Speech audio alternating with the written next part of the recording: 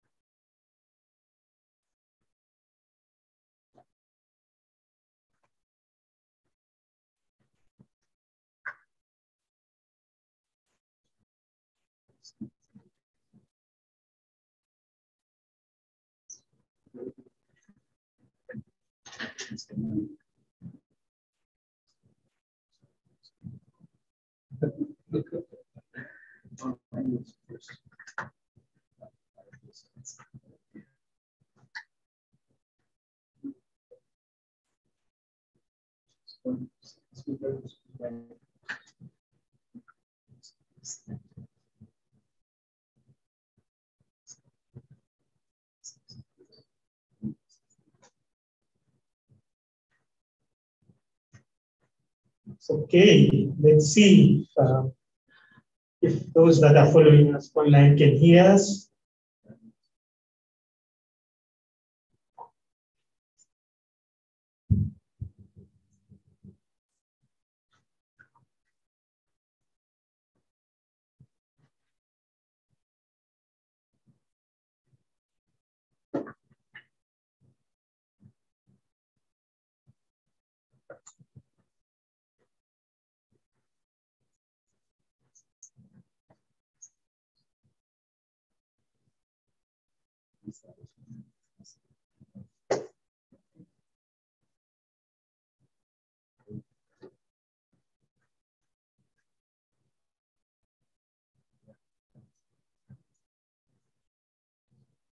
Okay, um, we have confirmed those that are following online on YouTube can also hear us. Um, good morning, ladies and gentlemen.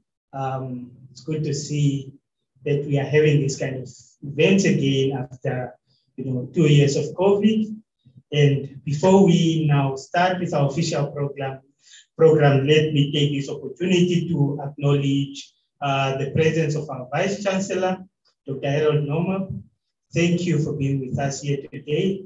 And this really just shows from the university how important the university takes initiatives such as these that are aimed at actually um, making sure that our young people are prepared for the fourth industrial revolution.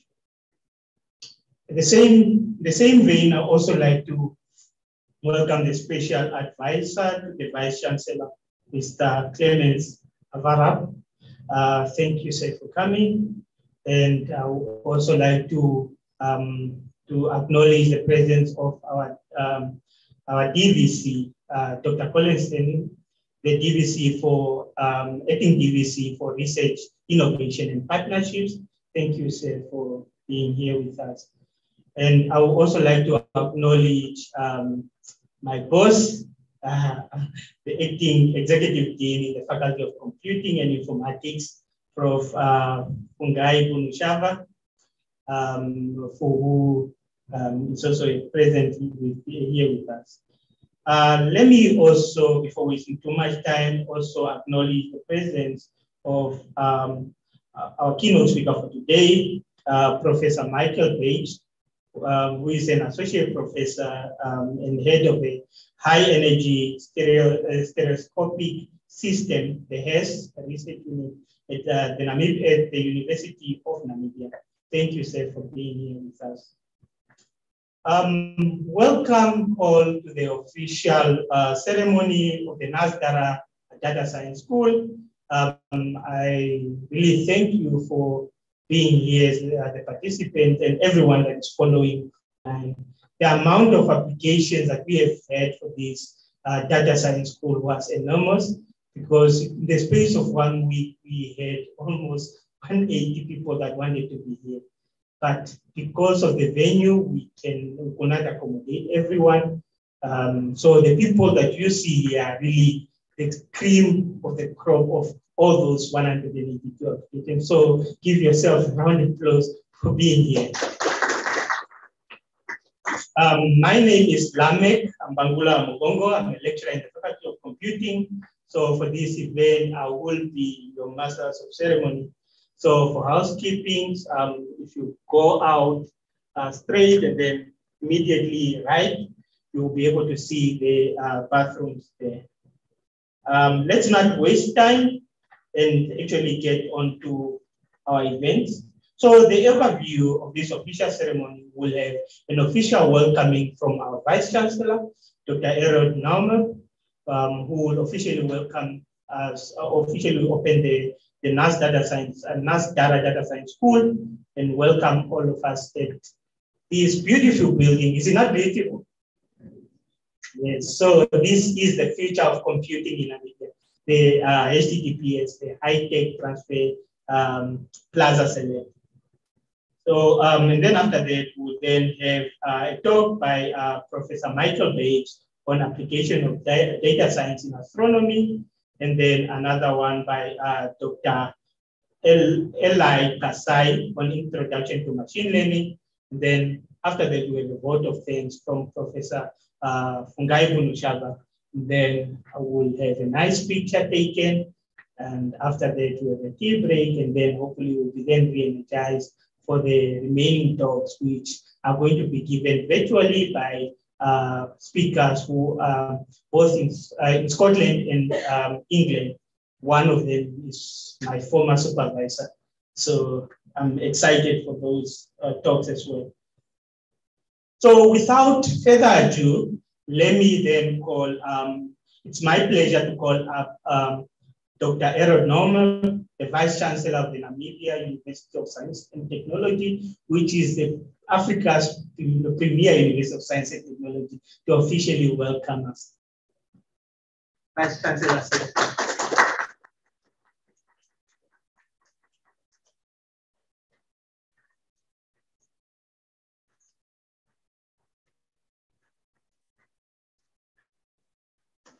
Yeah, thank you so much, uh, Dr. Lameck Amugongo, for this opportunity. Good morning.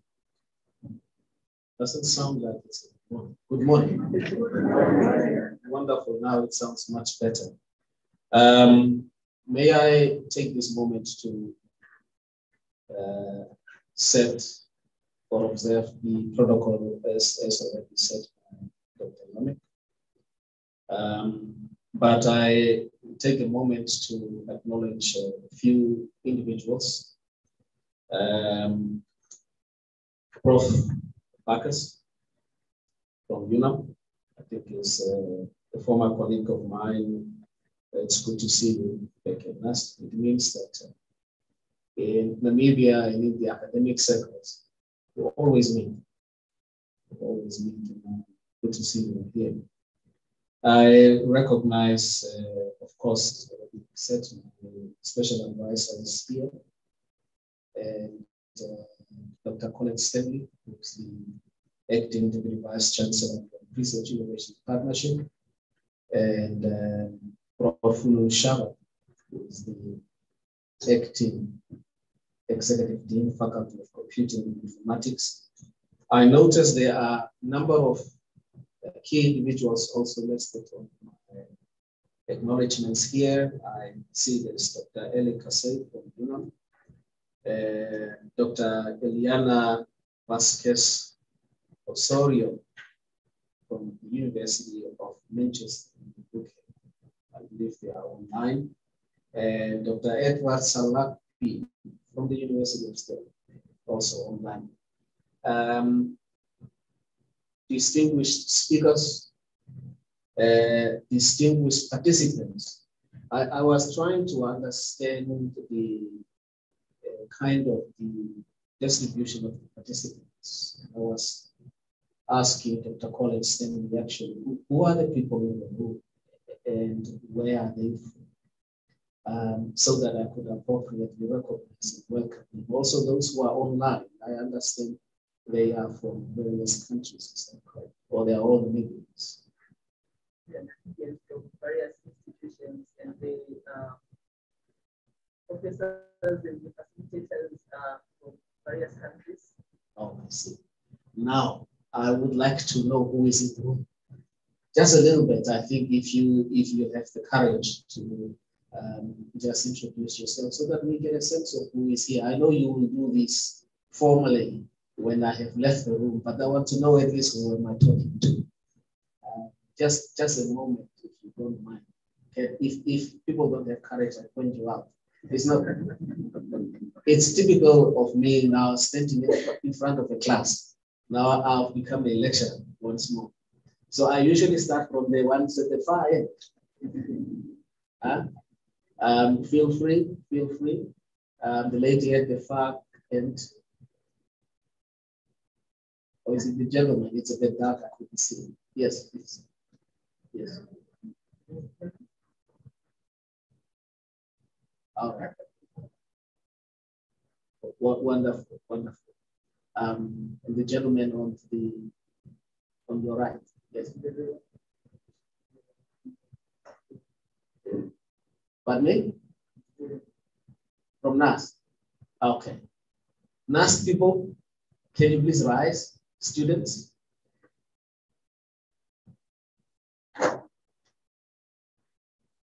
Okay, wonderful, wonderful. You are home. You are home. Now, now I know that uh, how many are from NUST. Um, all the others you may be seeing. All the others from, from let's say UNAM. UNAM, anyone from UNAM? Ah, wonderful. wonderful. I see, I see four at least four from UNAM. Um, please remain seated. Um, are you? Ah, one. All right, next time we'll be more. Welcome, sir. Um, anyone else from other institutions? Right, so recognize you. Thank you. Can you can you just say where you from? Uh, welcome. Have you traveled? No, I was already here. Oh, already here. Oh, I thought you took a quick trip. Yes, ma'am. I actually studied at institution. Oh, okay. Long way from India. uh, it, it is delightful, of course, to see participants uh, from various institutions converging here. So I acknowledge your presence. Um, I'm pleased to welcome you tonight. Uh, I was wondering when I read the program and the briefing notes, I was wondering what is this? Tara, Tara. I thought, is it Tara, one of our local language You, you must check up. So I thought, I thought, what is this Tara? And I tried to conceptualize what its main purpose is. But before I get to that, I recognize the entities that makes a great contribution to this initiative. Um, I understand that the South African Department of Education, is called uh, South African Department of Science and Innovation, is making a significant contribution to this initiative, as well as the United Kingdom Newton Fund the Science. So on the onset, I would like to recognize the contributions of those entities. Um, then I understand also that this initiative started sometime back in 2019 um, uh, when several uh, colleagues and entities came together and um, uh, discuss on the possibilities of utilizing what I now observe as um, the um, hold on, let me just get that correct. DARA, which stands for Development in Africa with Radio Astronomy. So that's what that is. Development in Africa with Radio Astronomy. And today we are witnessing a significant, significant outcome of those discussions. We are witnessing the launch of the NUST Dara Data Science School 2022. So congratulations to all those colleagues who are proponents of this initiative. Um, I also am informed that uh, this project will contribute to skills development in several African countries. Um, that includes Namibia, Botswana, Ghana, Kenya, Madagascar, Mauritius, Mozambique, and Zambia. Uh, these are the countries who've made a contribution or development towards the mid frequency instrument of the square kilometer telescope in Southern Africa. Um, then the, the other aspect that is significant in terms of this uh, school today is that, of course, it will make a significant contribution in terms of skills development, particularly as it pertains to the STEM fields, science, um, technology, engineering, uh, and uh, mathematics. Um, of course, it will co contribute towards institutional capacity development, particularly as it relates to um, training or development of uh, modern astronauts, astronomers who are knowledgeable in natural sciences. And, and, I put emphasis on the natural sciences because I understand that through this uh, NUST uh, data, uh, data science school, we look at several areas of application, which includes agriculture, health, uh, I understand also, let me just correct. Um, we do have uh, looking at core competencies uh, as I said, agriculture, healthcare, and also um, environmental sciences. Um, how does this dovetail with our strategic direction as NUST? It's important from two perspectives. First of all, uh, NUST in our new vision has a strong focus on digitalization. And we will see the emergence of the HTTPS building where host is um, the indication of our strategic intent. But also, um, we have developed academic programs that speaks specifically to data science. We have, and I think this year we have enrolled students in our first master's in data science. Is that correct?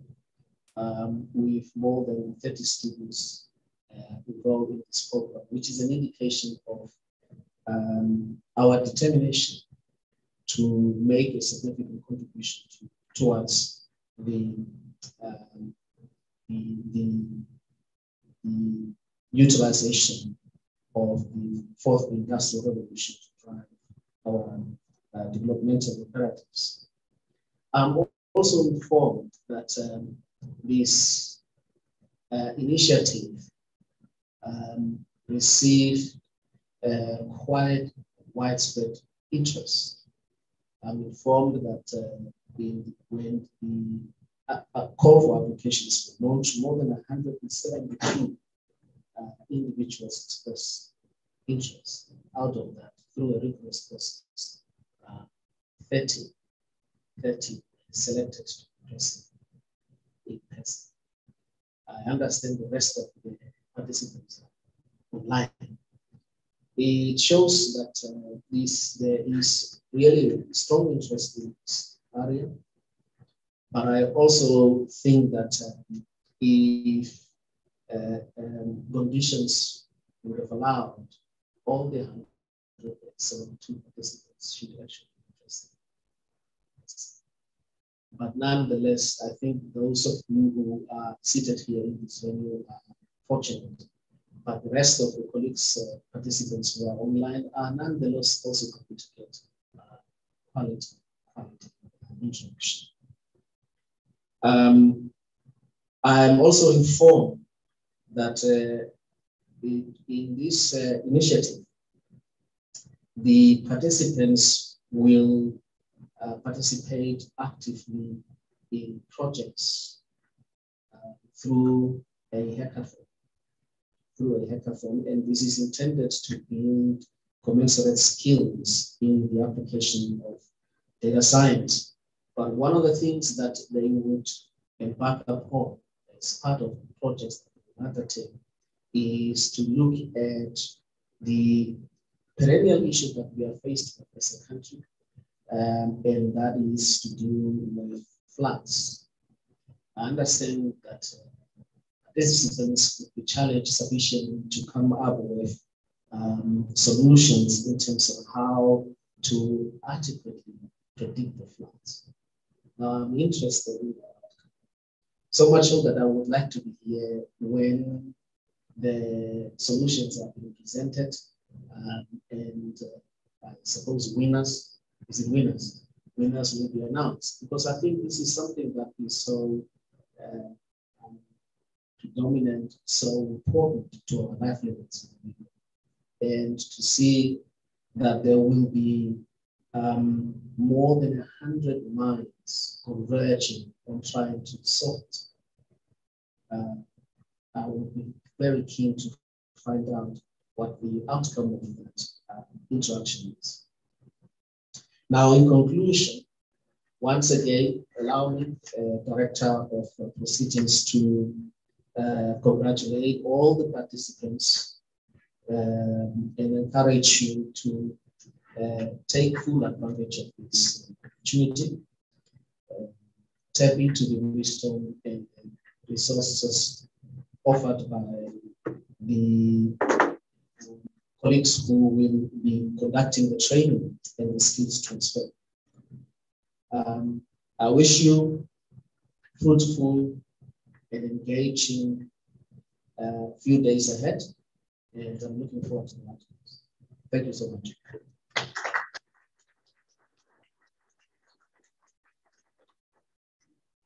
Well, they, another round of applause for the VC. I think thank you very much, Vice Chancellor, for that uh, warm welcoming.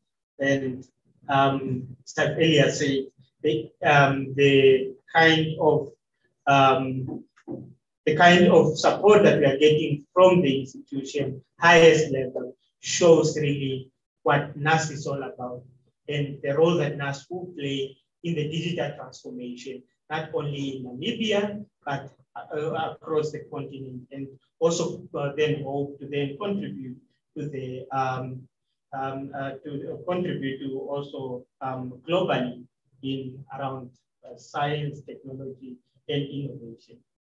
Thank you very much, VC. Um, next, we will then have um, the first talk um, by uh, Professor Michael Backes, which is on the introduction of uh, data science in astronomy. And Professor Backes has a long CV, but I'm just going to, as a professor should have, and I'm just going to highlight some of the few things.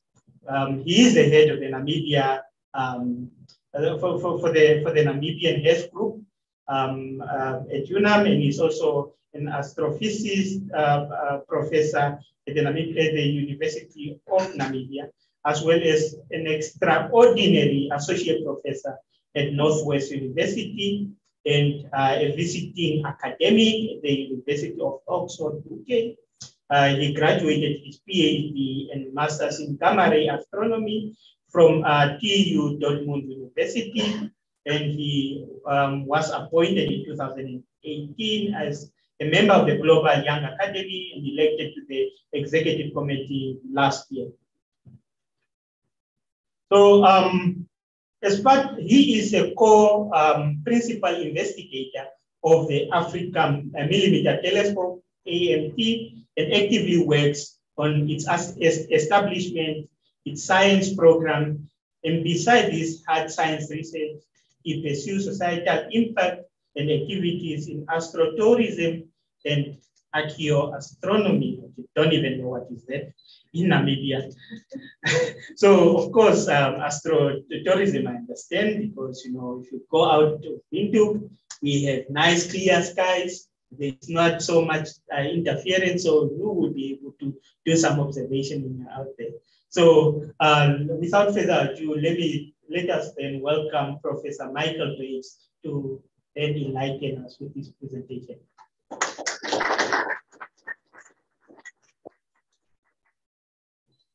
Yes, thank you. Thank, thank you, first of all, Lameck, for this very kind and extensive introduction.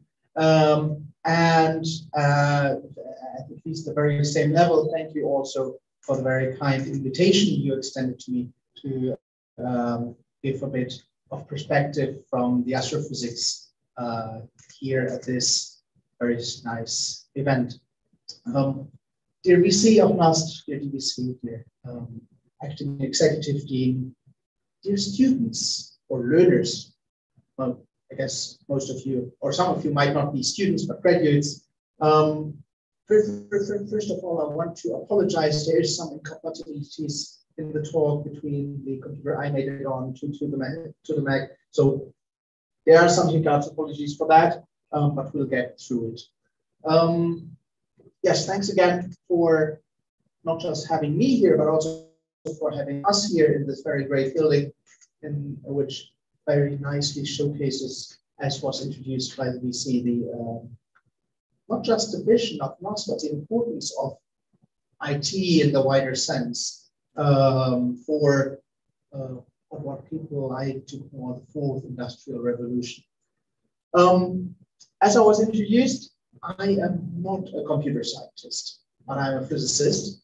And I want to bring you um, a bit of the story or the history of, well, why we are, why, why, why we are here, as I called it, because you will note, um, or at least I hope to show you in a few slides, that there's quite some connection um, between this very event and astronomy. Well, first of all, let me very briefly highlight only that um, one can draw up a nice diagram like this, where you see that astrophysics or astronomy for that matter um, can be seen as being in the center of uh, many um, very hands-on activities. So people often ask, what, what, what is this blue skies research for? Yes, pun intended. Um, and you will find that it actually has quite a couple of um, connections also into the engineering um, direction. The one we want to focus on here in Flamek is um, obviously the one where the computing and big data aspect is the highlighted one. Continue here. So I said why we are here, and the VC has introduced it already. Well, the NUST Development in Africa over there, the Astronomy Data Science School. Um, I want to highlight the Dara of it and where it comes from.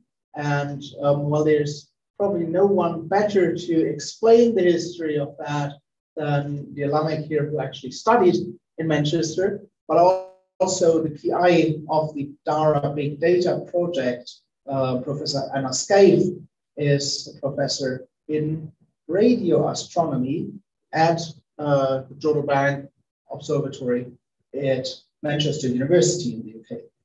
And so you see that, that is where this connection between astrophysics or radio astronomy, in particular in this case, and um, these data science skills comes from.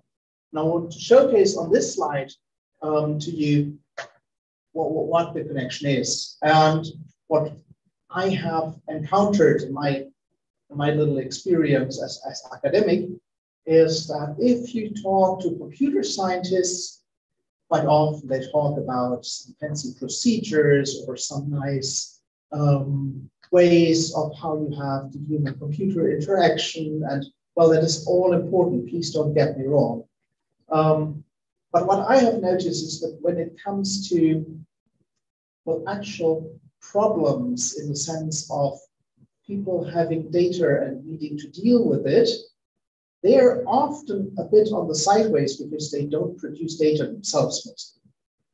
And so it, it, it, it is um, it is nothing bad. Don't get me wrong. It, it is it lies in the very nature. Computer science is the um, methodologies field, so to say, and obviously always needs an application to feed it with the problems to solve. And in astronomy, we happen to have many problems. and one of the one, one of the major problems is what one I want to highlight here, and that is the data rates of astronomical um, instrumentation, which are quite astronomical. The square kilometer array, which was uh, mentioned by the, by the VC, is a project which is um, quite international. It's the biggest science project on Earth there is, with, with total capital investment beyond, I think, 2 billion US dollars. So it's, it's, it's um, quite a bit of a, uh, quite a bit of an elephant, so to say. Um, and a big portion of that is happening right here in Africa. And I think that's something which is remarkable by itself. Obviously, maybe not obviously, but it's not surprising. It's driven by South Africa, but also, as was mentioned, and I, I will have, I think, on the next slide. Um, yes, it is uh, not just South Africa, um, but also the eight African partner countries besides South Africa, and Namibia being one of them. It's important to, to note here that all these um, partner countries have signed up to an intergovernmental agreement um, a couple of years back in support of the square kilometer array. And the plan is that in the second phase, so the first phase is currently being built in South Africa, and we're talking about about 100 telescopes.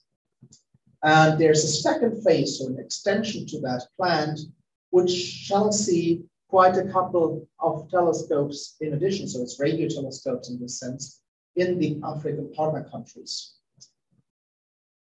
People have realized early on that, well, it's not, it doesn't work like just building telescope somewhere and everything will be all right. Obviously, you need to develop a community in that context.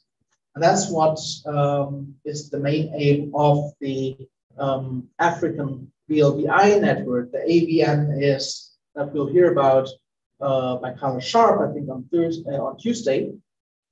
And um, there's one project which, which Lameck mentioned in the beginning, um, which is close to my heart, which is the African Millimeter Telescope. That's a slightly different type of radio telescope, it has some different purpose. I don't want to go into all the details here, but it will most likely be um, the Namibian contribution um, to this African VLBI um, network. And um, well, it's a collaboration driven these days between UNAM and Radboud University in the Netherlands. Um, but we've also quite a couple of additional partners, and we're proud NUST being one of them. Um, yes, on the next slide, please. Um, but I also want to mention that we don't just have to look into the future um, when it comes to uh, astronomy in Namibia, but we also have already a rich history of more than 20 years, or essentially 20 years, of the HESS telescopes being situated right here and doing world-class science since. Um, so you just, I just brought you here uh, a little, a little news um, news piece of two years ago, which celebrated 20th anniversary of the groundbreaking for the first telescope. Um, so we're literally having 20 years of data taking um, this year. And you also see this very nice Namibian stamp, which was, which was issued by NamPost. Um, um, if you compare these pictures, you will see it was issued slightly before the actual instruments were released. Thanks, Lam. Um, I brought you a little video here. Um, no, that's fine. That's fine.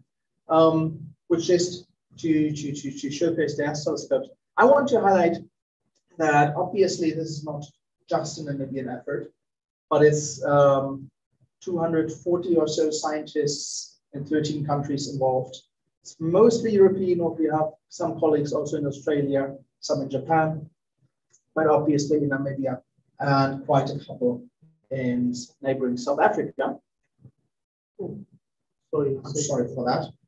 Be, as I mentioned, we'll be getting there. I mean, if you can just um, reopen it and just jump to the next slide. Yeah. All right, what I want to show, and maybe I, I, I just continue talking uh, while the slides are reopening. So what is the what is the challenge, or what is one of the challenges we face with HESS? Um, well, on the slide on the square kilometer array, you saw those magnificent figures of um, know, was it two terabytes per second uh, data volume? but we, we are not there with the vast telescopes, right? We're, we're a bit more modest. We have only five telescopes, not 100. Um, yes, it's also different technologies. Um, but we still have data rate of several terabytes per night. And then every data set that you would analyze um, is not just one night of data, but then there's maybe 100 or 200 hours of data. So it's quite a significant amount of several tens or even 100 terabyte that you have as raw data that we should need to um, you need to um, um, be able to manage. Um, down here, you should you, you should, should see a little video. Actually, this this this this is literally just a picture of one event as we take it. So this is literally the camera plane, um, or actually it's the five camera planes of the five telescopes you see here. Um, each of them having slightly less pixels than your mobile phones, about 1000 pixels each. But our pictures are taken a little faster than yours. Um, we literally take for each event that is triggered by a cosmic ray incident, we'll not go into the astrophysics details here. Um, but each, each of the events that, that, that triggers recording of the telescopes, we record 40 slices of one billionth of a second each in length. And we do that something like 500 times per second. Um, and with that, as I mentioned, we, we, we obtain data rates of a couple, maybe four or five terabytes per night. And um, the tricky bit here, this is where um, I, will, I, will, sort of link to the next presentation of, to the main scheme of this whole week, um, is oh, we skip that.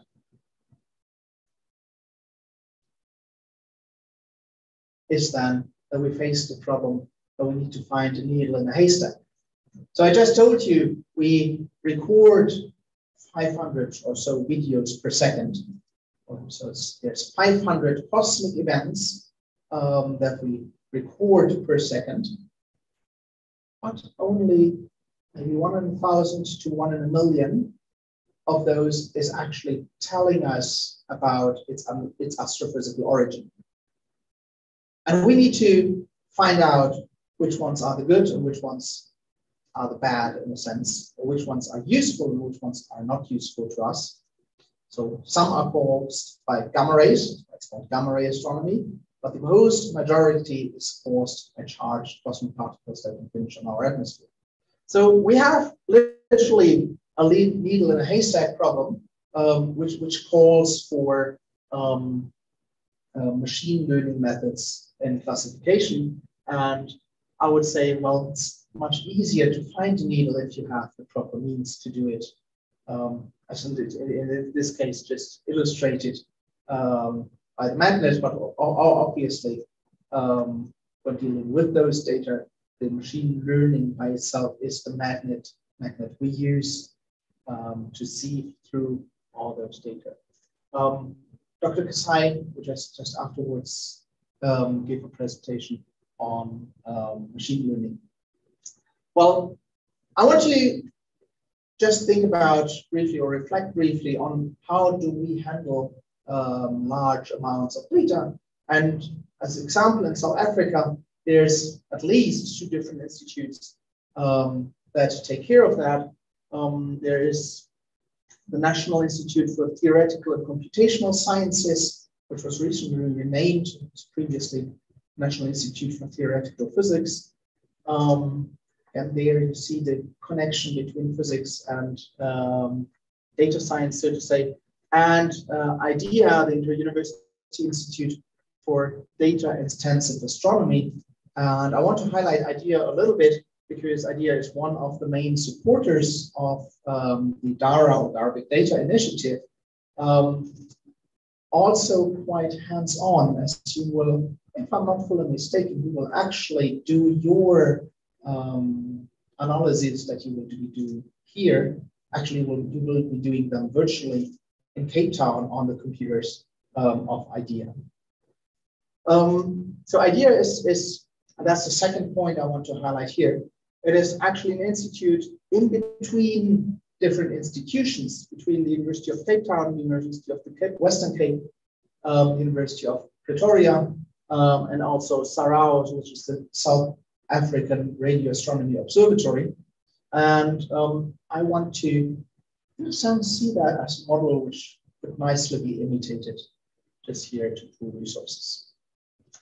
Um, the National um, Space Science and Technology Policy, which was launched last year, also explicitly talks about as one of their uh, one of their aims um, is to establish a high performance computing center, um, but with the very same idea that um, well, it's, it's, it's needed to have people conversant in dealing with big data volumes. And uh, also there is again the connection between space sciences um, and high performance computing. Um, at UNAM, we have taken a first, call a tiny step into that direction, um, and opened what we call a virtual institute for scientific uh, computing and artificial intelligence, where um, some colleagues of, uh, from the, the, departments of physics and computing, yes, their departments are slightly called different, but the names are lengthy, so I'll cut them short here. Um, with the support with our PVC research, um, have um, started such an endeavor. And actually, there must be quite similar um, initiatives here, and I'm pretty sure Prof. Bhunu uh, will later in this week introduce those. Um, so the question here then is, um, what, what do we actually call a high performance computer? And I just want to run you briefly. I'm pretty sure you all know what a laptop is. I'm sorry for the picture quality. Um, I'm pretty sure you all know what a desktop computer is. Um, you notice I'm just going up a little. Um, you have heard of the word server. There's very many different interpretations of the wording. Um, you can also put it upside down uh, or, on the sideways, and you can stack them on top of each other. And if we do that, we call this a rack. And um, I just brought you a picture here of one of those computing racks, and I'm pretty sure, well, not pretty sure, I know that you have such racks standing here as well as us, as we have them at UNAM. Um, and um, then the question is, what do you do with that? And so there's one concept which we need first, and which is that is called, or I call that remote computing. Um, and that is that, well, you have your laptop or whatever computer you're sitting on, and you actually send the job that needs to be done to a bigger machine. At this point in time, you don't need to care about what machine it is, and you don't need to care about your laptop being still running 24 7 for the next two weeks. Um, but you will get the results afterwards. So this is the very basic principle, and you will all make use of that in the course of this program. Um, then there is what is called serial computing or high throughput computing. And that is if you don't just send one job to this computing farm or to this compute cluster, but you send many jobs and all of them get executed and you get um, all the different results, you get them together into one result. And one example uh, where you could do that is you want to calculate the way that each of these um, little balls can take. That's a Galton board, um, basic statistics, um, but it's just to illustrate the idea. To the next one. Um, so you can have many, many single uh, ways that you need to calculate but each of them is not dependent on the others. So you can calculate them all in parallel. And that is what's called high throughput computing because they don't influence each other. And then there's um, a second step you can take, and that's called parallel computing. And there you have essentially one job, and that job requires the different parts of the job to talk to each other because they are interdependent of the different um, of the different results of the parts. One big example of that is anything that has to do with weather forecasting or climate simulations, because as I will show you in the uh, very next picture, um, you have very different pieces of your environment that have to work together and that influence each other um, in very different ways. And you need to take care of them all. I, I, don't want to go into details here. I'm not an expert in that. I just want to uh, briefly bring that to you as an example. I also brought you, oh, shall we try that? Maybe we try that. If you can, should be a video and should be clickable. Fingers crossed. Um, we have a high. This high performance company is one the next like issues people companies not efficient. The mechanism for scientific computing artificial intelligence look at ways in apply artificial intelligence to go other disciplines with the faculty or with the university.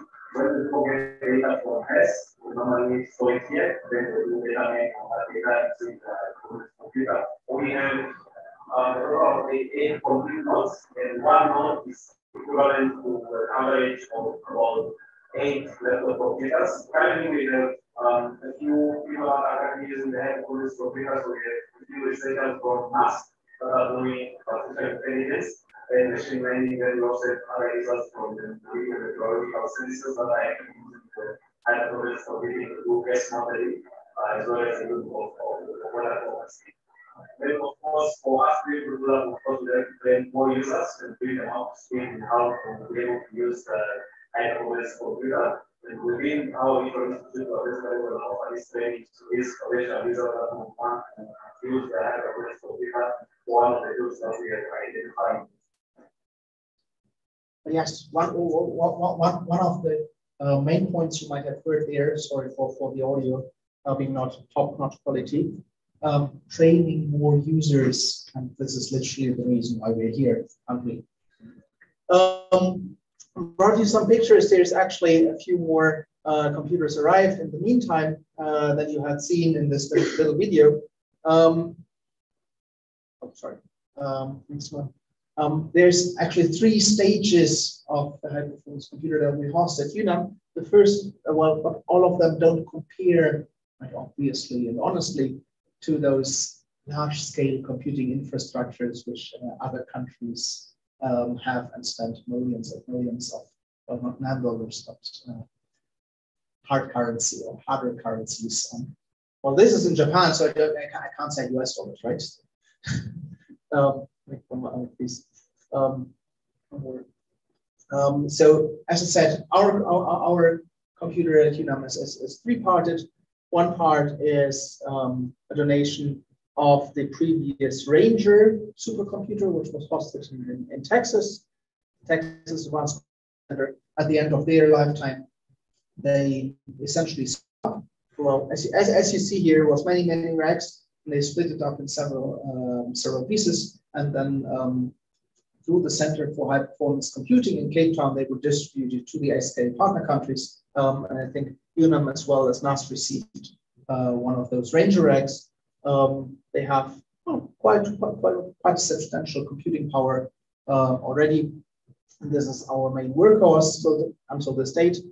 Um, I don't want to go into all these details here, but you, you see is, is these little pieces are actually the servers that we talked about previously. And you see there's quite a couple of them, and each server um, has then a couple of CPUs. Um, so yes, a lot of computing power to be used. Um, the second one is also from Texas Advanced Computing Center. Uh, it was called Stampede when it was um, still uh, as many racks like this. I think also there. Um, the SKA partner countries. So you see it's again all through the astronomy in some sense, or in preparation for the bigger astronomy projects. Um, got donated um, these uh, one, one, one computer X each. And quite recently, we also acquired a data server, which was um, uh, with the HESS telescopes previously. When they upgraded their system, we made use, uh, we made sure that we get um, hold of their old um, storage equipment, which is also quite substantial. Um, the setup here, as you can see, don't want to go into all the details. You just click twice more, and you get the nice pictures there. Um, what I want to close with is essentially a quote uh, by Honorable Naledi Pandor when she visited Windhoek here in uh, 2014. And I don't want to read the quote to you, but essentially it says something like, well, there's, there's quite a couple of problems in Africa. Um, and yes, we need to address them, but we shouldn't just look at problems. We should also look at the opportunities we have, particularly in those spaces where we have some geographical advantage which no one can take from us. We should really make use of that, and astronomy is one of them. And with that, Lameck, I want to thank you again. thank you for listening. And um, yes, if you have any questions on that.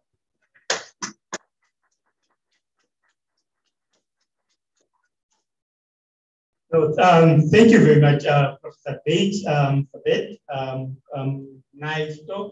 And I also 100% agree with you. We should focus if we really want to contribute something significant to the body of knowledge.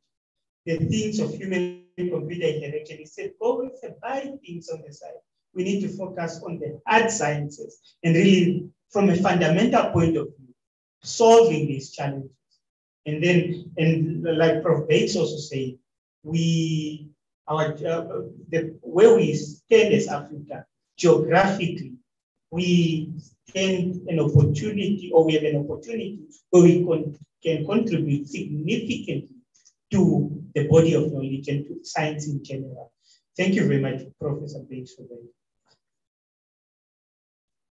So next up, we'll then have uh, Dr. Eli Kasai, Eli Kasai, who then give a talk on the introduction of machine learning.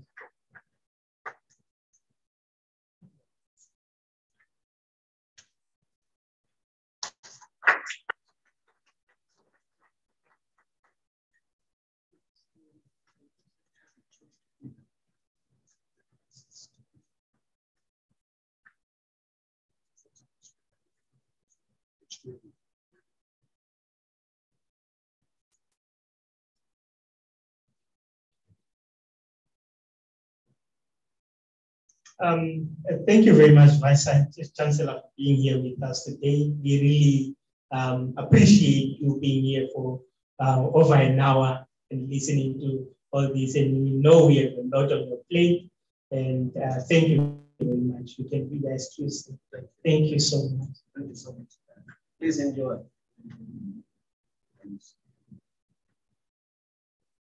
Okay, we are trying to sort out our next presentation. Um, please uh, stay tuned or stay with us. We'll be back shortly, two minutes.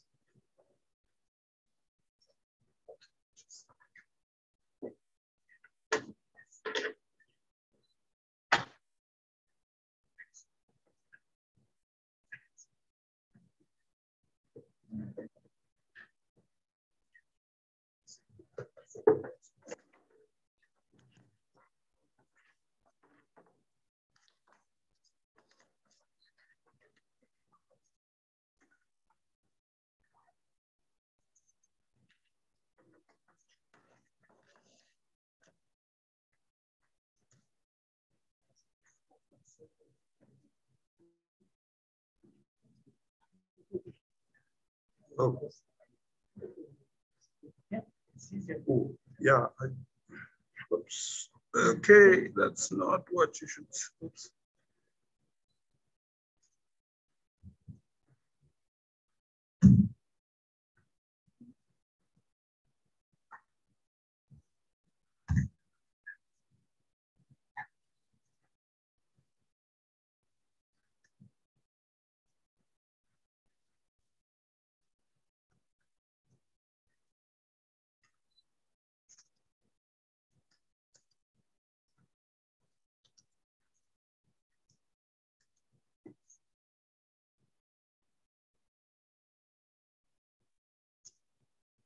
All right. okay, thanks. All right, sorry for the for the short delay. Oh, well, it's uh, over the little.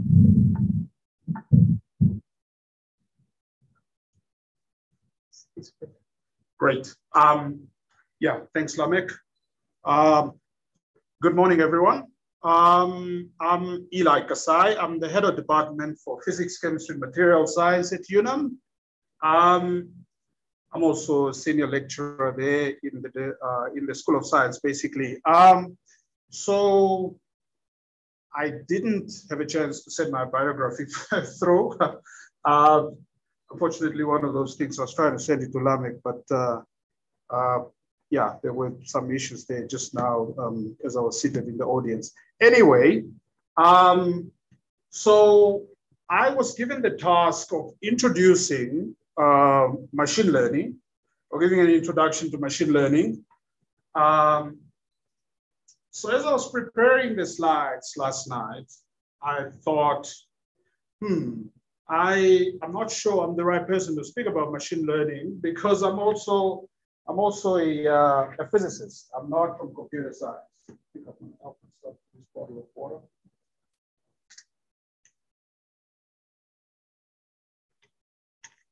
But then I thought to myself, oh well, um, I have done a bit of machine learning uh, in my own right.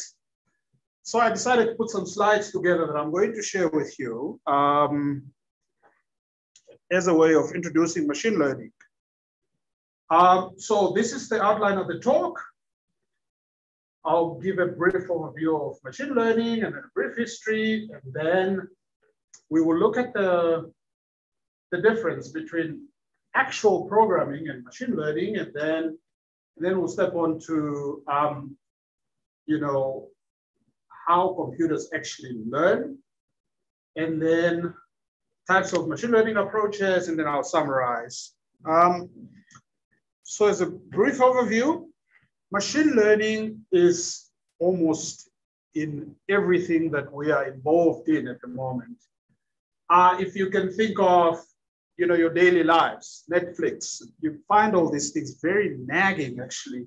Um, hey, Eli, did you enjoy that movie? Um, yeah, if you enjoy that one, there are some more here. That, so recommendation systems, you know, because you sign to all these accounts, they, these softwares keep listening in and then they identify your choices and your priorities and then they keep suggesting stuff to you. That's all being done by machine learning algorithms.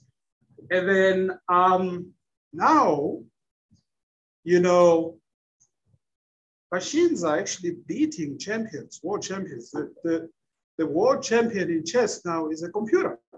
It's no longer a human. And not so long ago, um, I think the champion was Japanese in Go, in the game Go. A few years ago, a machine beat that champion. So this, so machines are basically becoming smarter and smarter at doing these things, and, and thanks to machine learning. Um, yeah, so you have challenges on the one side. Where are we going with all this? You know, are we going to use it for the right? Are, are we going to use all this uh, cleverness that's you know transpiring and evolving for the right reasons. So far, it seems to go that way, but one never knows. So cancer diagnosis, drug discovery, you know, uh, assisted driving, these are all uh, areas that machine learning are being applied in. Um, one such area is, you know, the Tesla cars that are developed by Elon Musk and some other companies where you know you have the option to actually drive the car um, uh, using machine learning algorithms. You have the option to actually you know uh, you know turn it on so that it drives itself, or you have control of it. So those cars are sort of semi-autonomous. This is all due to machine learning and, and artificial intelligence. Um, so I could go on, on and on talking about these things, but um, I'm going to move on to the next uh, um, point that I need to talk about. So where did all this start? Um, so if you if you do a bit of digging, you'll realize that there was a gentleman called uh, Arthur Samuel back in the 50s, late 50s, and he gave the early definition of machine learning. He said it's a field of study that gives computers the ability to learn without being explicitly, explicitly programmed. Um, so the same chap is also known to have written the first self-learning algorithm, okay, that basically played this game called checkers. Different kinds of this uh, different versions of this kind of game, but he wrote an algorithm for this.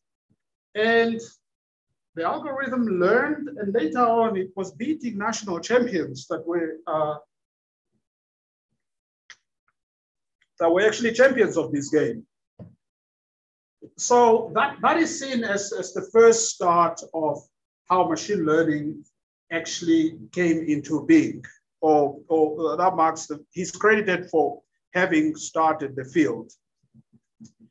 Now, um, how is machine learning different from um, computer programming as we know, all right? So to answer that question, I'm going to use an example of the Pong game, all right, where you know you you have two players, they keep the ball keep going to each side, and you have to intercept it with the bat on each side. All right. So if you don't intercept it, then the opponent gains one point, and vice versa. So I'll use that analogy to try and explain um, what machine learning does. So what would happen? So if a programmer programs the Pong game so that it plays against you, then what he does is, uh, as the ball crosses the boundary, goes to the other side, if the height of the, the bat is higher than the height of the ball, then the, the programmer can just write the code and say, if that is the case, then lower the bat so that it intercepts the ball. All right. And then the other way around. If the ball is higher than the bat, then the bat must go higher.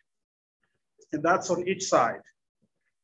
So, um, so that's traditional programming, right? So you, you formulate a set of instructions, um, you have some data, and then you basically, that, that constitutes a program that will give you answers. The answers in this case are to keep moving the bat up and down so that it intercepts the ball, all right? Um, so what is the data? So the, the rules in this case are basically the if statements that the programmer writes, and then the data, the data could be the positions, the location of the ball, its speed, the path, the location of the bat, and so forth. Okay, so those are sort of the inputs.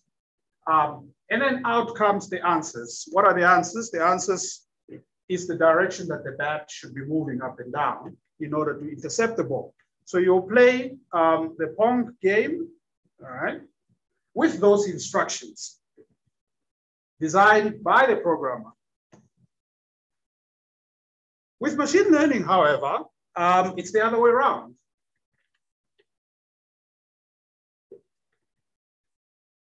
So if you notice, so we have rules on this side, but now with uh, traditional programming, if you like, you have rules on the one side with the data, out comes the answers on the other side. With machine learning, you feed answers to the, to, to the machine so that it learns. So instead of you um, writing a code to say, if the, if the height is this, if the height is that, you actually give the answers to the machine uh, so that it, it has something like this. So if the ball starts here, and then the trajectory points that it will land over there, you tell the, um, actually, I'm supposed to have a video.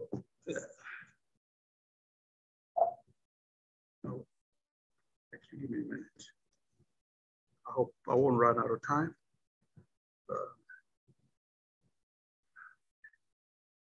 where is my code?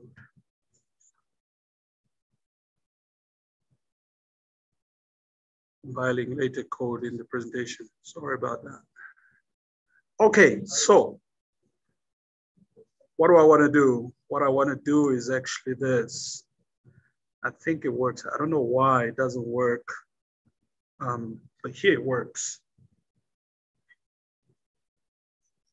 So with the machine learning algorithm, so you give, you give the data and you give the answer. So you, you locate the position of the bat and the, the trajectory. So the answer is the bat must move up. So you give that to the machine to learn. And then you keep doing this over and over and over. And many times, the machine learns the pattern that the, the trajectory of the ball keeps moving. Um, that way, it actually, the machine ends up formulating uh, the rules or the code, all right? It, the machine ends up formulating a model. Right. So traditional programming, you give the rules, you write the code, and you give the data, out comes the answers. Machine learning, the computer is given the answers and the data, and it must formulate the rule, or it must formulate the code. Right. Um, so just as an example of, maybe let me pause there. Um, so just, just to recapture again, so this is, this is the takeaway. So those switches in traditional programming, answers come out. In machine learning, when a computer has to learn how to do the problem or how to, or, or how to look for patterns, it ends up developing the model. Rules, we sometimes refer to that as a model. Right. Okay, so I'm gonna uh, take an example of how we can actually uh, use machine learning uh, to sort of predict what the, the slope and the y-intercept should be. So this is linear regression. Um, it's one of the uh, common um, examples that are used in, you know, in demonstration of, of, of, of how machine, a machine actually learns. We know how to do this. In the lab, you know, we've seen these kinds of things. We're, I'm sure we're all scientists here. We must have done some first year physics, uh, even in high school, uh, hopefully for the most part. So we can work out what the slope is. So we know the answer to this problem, but that's not the, the point. The point is to train the machine to be able to do this. We, we don't want to do this. We, we know how to do it, but we need to train an algorithm so that it knows how to do it. Um, so how do we solve this problem? So we have a line that is governed by y equals mxc, in this case, using machine learning terminologies. Um, w is the weight, b is the bias, um, which are synonymous with the gradient and the y-intercept. Now, how do we go about solving this? How do we figure out what W should be and what B should be? So if I was to do this, I would start making some guesses. So I'll take a look at when x is equal minus 2, y is minus 5, and when x is minus 1, y is minus 3, and so forth. So I have some I have some ideas of how to get y from x. But for me to get y, I need the value of w and b, okay? So and I need the machine to actually know how to do that. So I could start by taking some guesses. I could say uh, maybe y is equal to 5x plus 5. And then, and then I run that using the x values, and I find that I'm completely off you know, my estimate, my guess is, is wrong. All right. So then I try again, you know, y equals 2x plus 2. And then I still see that I'm actually still off, but not as bad as the first time. So I keep doing this. And then later on, I will actually figure out in the end, just by trial and error, that W is 2 and B equals minus 1. But I knew that answer. I keep comparing my answer to the, or my guesses to what I get. So what I do is I subtract my predictions from the true values, all right? So I keep doing that until eventually I, I determine or I establish that W is two and B is minus one. If you do that, that's exactly how a machine learns. So it'll start with a guess, and then um, this, is, this is an example of supervised learning, actually. It'll start with, with a guess, and then it, it, it outputs a model, and then it compares that model or the solution or the, the rules using the analogy that I was using earlier on to the true value. And then it checks, am I off? It evaluates what's called the loss function or the cost function. If it's completely off, then it, it keeps doing that. It keeps on doing that over, over and over and over again And then eventually it shrinks the difference between the true value and, uh, and its predictions, and then it, it knows. But through that whole process, it discovers so many things, so many patterns that you and I will not be able to discover. All right. A programmer is not able to do what uh, machine learning can uncover through that whole process because it can do it in really a short amount of time compared to, you know, an ordinary, what an ordinary programmer can do. Right, so um, so that's exactly um, what basically what happens. So what I've done is I've taken one neuron, okay? I've taken one neuron and I did the prediction for um, the y-intercept or the, the weight and the bias. So that's just one neuron. The idea is we want to train a computer or we want a computer to learn how to think like a human, all right? So that's exactly, this is a representation of a neuron in our brain. One neuron in our brain is, uh, this is an artist impression of that. So it takes inputs and it gives outputs. So here, you give it an input, input is X, but it needs to know what W and B should be for it to get Y. So it will keep tri the trial and error period until it learns what W and B should be. But that's for the case of a of fitting for those two parameters in a uh, linear function, right? Which is really not that complicated, right? But uh, problems that we face, that face humanity, that we sit with in many disciplines are not linear. They are highly unlinear and they are more complicated. And for that reason, we need more neurons. This is where the concept of a neural network comes in. We need more neurons if we are to treat, you know, if we are to analyze complex problems. All right. So what you'll have is something like this. This is modeled on the fact that this is how the brain works. All right. So this is again an artistic impression of what the brain looks like, uh, what the brain is supposed to look like. And these neurons are connected to each other like that. It's actually an app that you can sort of move these neurons around and make connections, and you can see how information flows in the network. Um, so that's what um, you know the artificial neural network is based on, which is the core of machine learning. All right. So with machine learning, we're trying to reproduce, you know, how the brain works. We have a biological neural network here, which is a depiction of our brains. And we want to produce something similar, these artificial neural networks. So each one of these neurons predicts some underlying parameters of the rules that it needs to produce. So you give it inputs.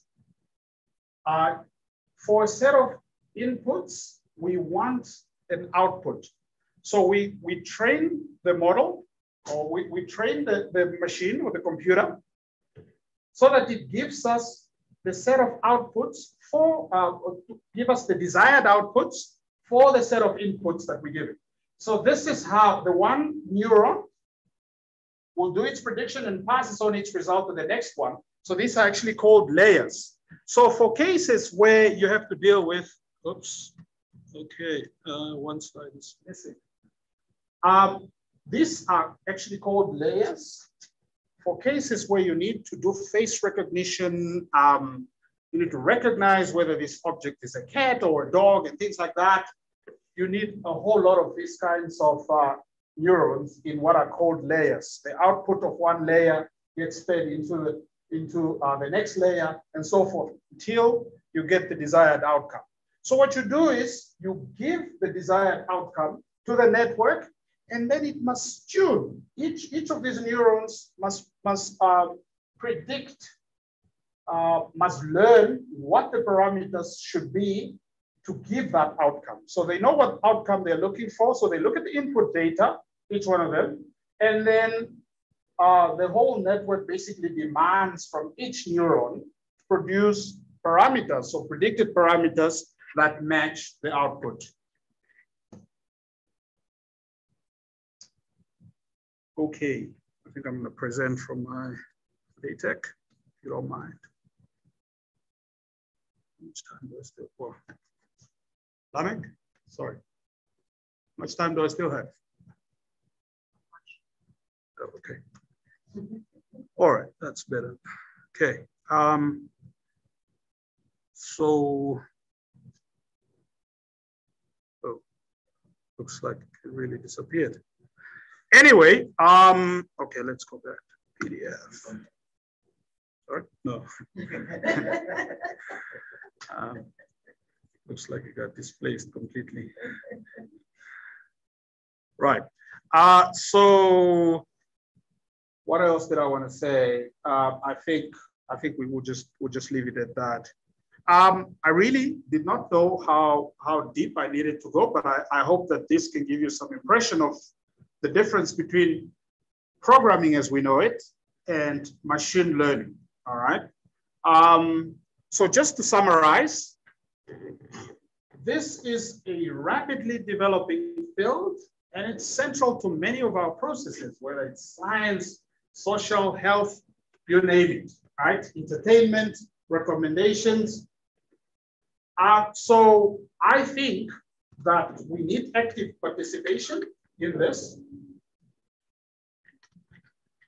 Uh, there's, there's so much benefit from us being actively involved in this because a lot of the challenges that we face um, can actually, machine learning can, can help us address those. So I think, you know, locally and internationally, we need to actually just strengthen our participation in this. And we need to synergize as uh, NUST and UNAM actually, because uh, we operating in different spaces, but uh, um, you know, I hope that this conference is, is, you know, one of those efforts that can actually, you know, strengthen uh, us working together because I think we're powerhouses of you know, producing knowledge, but I'm not, I'm just not sure if we're doing enough. And I think that, you know, a platform like this, it's one of those that we just need to kickstart these processes and synergize more to share best practices. And um, we also just need to intensify efforts with international partners because um, there's, there's, there's a lot that we can do together, actually.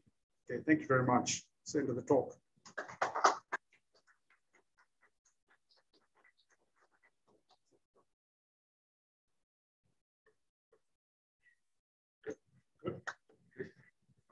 Okay, good morning, everyone. Quickly standing in for Dr. Lameck. Uh, thank you, Dr. Kasek, for that insightful presentation. Ah, am I not audible enough? Yes. Okay, right. Um, quickly standing in for Dr. Lameck. Um,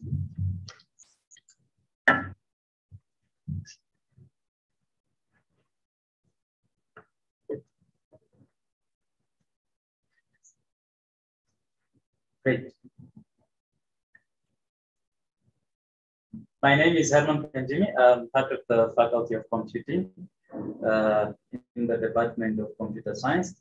Um, my task is to quickly call upon the next speaker, who is our acting executive dean, Prof. Fungai, to quickly um, give us a vote of thanks and then we can have a quick picture outside and then have our tea.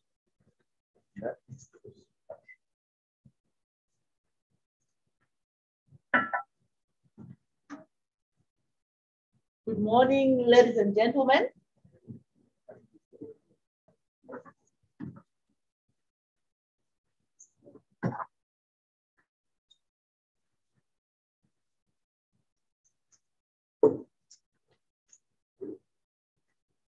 So as introduced, my name is Fungai Bhunu Shava. And my task this morning is to give a vote of thanks to all of you. So uh, allow me, Director of Ceremonies in absentia, Dr. Lameck Amugongo, to thank you for the uh, job well done in directing the ceremony this morning. And to the Assistant uh, Director, Mr. Elman Kanjimi, thank you for this opportunity. And it's a warm um, morning for us, uh, having you here at NUST. Would like to thank you, our delegates, for taking time to come and uh, learn more about uh, data science during this long week. we are hopeful and uh, excited that when you finish this week, you would have uh, come up with the solutions that were promised. And uh, as I was listening to the two uh, keynote speakers, I was really excited by the amount of data that they were promising is available for manipulation and the algorithms that were presented. I see someone was even busy coding, the source code was there being compiled and running. So I don't know whether it's intimidating for the participants or it's actually exciting to know that you're going to be uh, following in the footsteps of the great uh, physicists and uh, oh, both of them are physicists by the, by the way. So, and computer scientists who are manipulating the data. So, uh, ladies and gentlemen, allow me to thank the uh, speakers for the day. We have online Dr. Eliana Os uh, Osorio from the University of Manchester who will take the first session uh, after the break, as well as uh, Dr. Talapi uh, from the University of Stirling. Uh, thank you so much for taking time to come and uh, educate our local capacity in Namibia. We really appreciate that. I would also like to uh, thank our partners in sponsoring this event. We have the SARAO in South Africa, we have the United Kingdom uh, Science and uh, Innovation Department, who are also part of the sponsors of this event. And of course, our dedicated organizers who have been running around through the weeks and making sure that everything is happening. I'm just surprised that Lameck could afford to put on a suit today because for the past couple of weeks he was in shorts and slippers, uh, running around making sure that he goes uh, on. Uh, Prof. Quenam hiding behind and the other team members that I can see in the room. Thank you so much for the great work that you did. I see the Swama uh, Tamiela. Thank you, uh, Miss Ipinke. I saw you walking in at some point. But anyway, thank you to all the organizers, even if I did not mention your name. We really appreciate the good work that you put into making this happen. And we believe that you are continuing to, uh, you are going to continue working hard towards the success of the event. And I would like to uh, thank Dr. Eli Kasai for taking time to with us today and teaching us machine learning. I learned a lot. I didn't know about supervised and unsupervised machine learning, and I didn't know that the computers could actually learn from a solution that was uh, already predefined uh, through trial and error like me, and even become smarter than the human beings that are doing that. Thank you so much for that education session. And I heard you say that you are not doing that. But when I looked at the screens that were popping there and what you were busy modeling with that little knowledge that you have, wow. Thank you so much. And to our esteemed professor in astronomy, thank you so much for uh, enlightening us on the relationship between physics, uh, computer science, big data, and all the other sciences that we have you know, when you are in a specific field, you usually tend to look at your own field in isolation of the other. And sometimes you use the mark to understand the relationship between the different fields.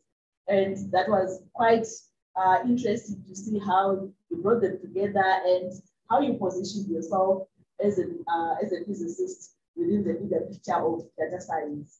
And your passion for the HPC computers was well demonstrated. I believe that you can step out of your physics, um, choose someday and come and work on the uh, HPCs to model the, the uh, different uh, models that we need to solve the problems that we have and provide that uh, accelerated uh, algorithm that can process those two terabytes that you showed us at the beginning of your presentation. So thank you so much. And a special thank you to our Vice Chancellor for taking time uh, to come and grace this occasion to uh, welcome the participants on board and for his keen interest in the development that we are having here. I hope that uh, Mr. Vice Chancellor say you'll be here on Friday to witness the solutions that have been promised by these uh, participants at the end of their uh, journey and to all the NUST management, to the uh, colleagues that uh, give us support. We want to thank you And for our participants, we wish you a very fruitful week. Thank you for taking time to be here. And before I step off, I would like to uh, invite Dr. Colin Stanley to come to the podium and help me thank our speakers. Dr. Stanley.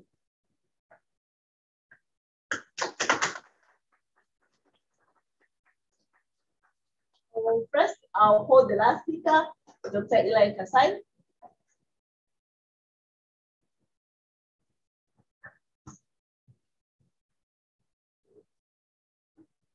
Thank you, sir. Thank you very much.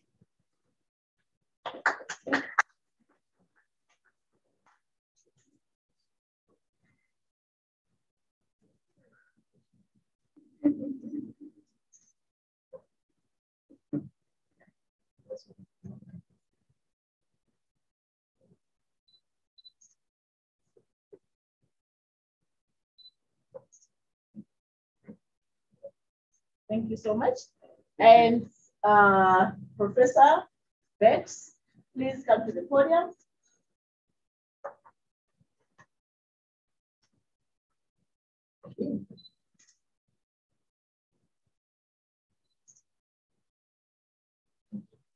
Thank you.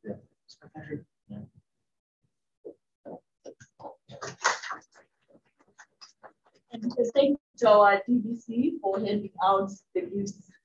Over to you, MC. Wow, um, thank you very much um, to my boss. I think um, executive um, executive dean for the Faculty of computing and Informatics, and also to our acting DVC for Research Innovation and Partnership, Dr. Colin Stanley. And um, yeah, before we go on a break, um, we'd just like to tell those who are actually following online that we are going to resume um, exactly after 30 minutes. Uh, so now we are going to have a tea break. But before the tea break, it would be nice if we can just take a nice uh, uh, big family picture outside. And um, yeah, if we can do that now, to be good, and then we can continue after 30 minutes.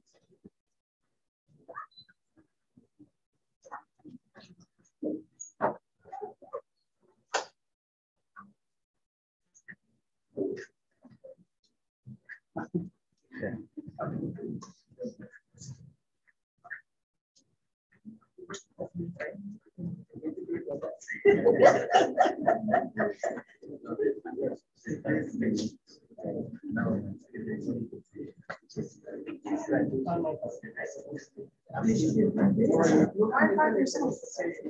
saw how you did right? Thank you. Because it's usually that we. I can see that you guys have made uh, First of all, we have, well, first of all, we managed to, you know, our second, second HTC. Our scheme is damaged.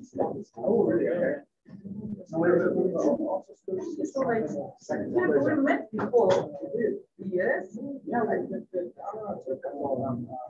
We had somewhere or. I was there just. Yes. Our issues preventing us. Trying to this one uh, on the team. What, what, what, what, it it looks good. Yes, uh, guys currently actually trying to figure out how to deal with us. What a position. Ah. Just for a finish. Because it was the with us. And storage, for storage. Yes.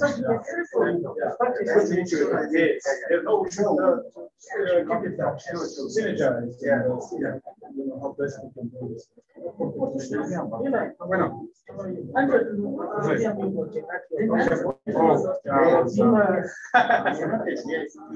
That was, uh, pleasure, pleasure. That's great. And I'm glad I just happened. We need to submit the joint proposal for There are some sixth of May. Okay, okay, okay. I need to push you the corner. But, uh, Thank you so much.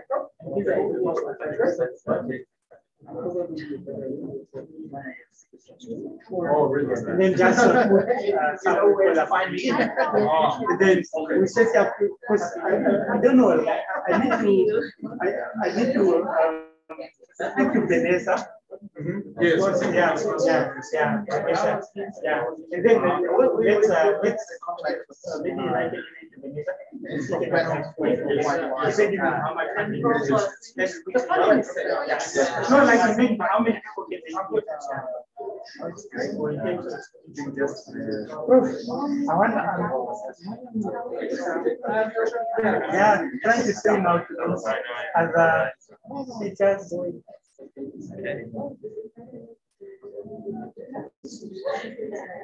We, we, we- we're trying to do our part here. so- You, you will all just, I mean, yes, quite. Although it's neighboring to that, sometimes feels still quite away from it. Uh, so quite, just the first one. Well, well, what- what- Okay. Okay. Okay. Okay. Is that we get, um, yeah, people to move those- Uh,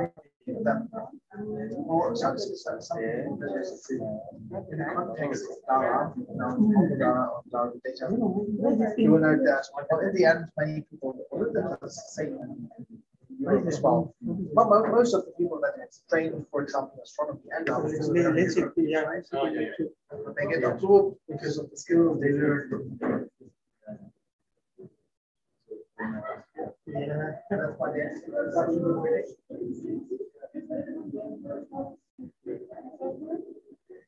Okay, I I think you can, you can come and take a picture. That's of the picture that you can check this later. Because I think it's frozen. I think.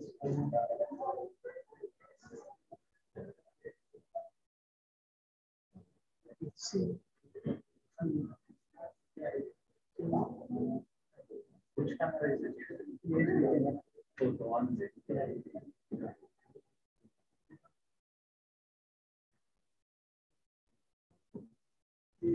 but anyways, next is online, so yeah, so it's fine.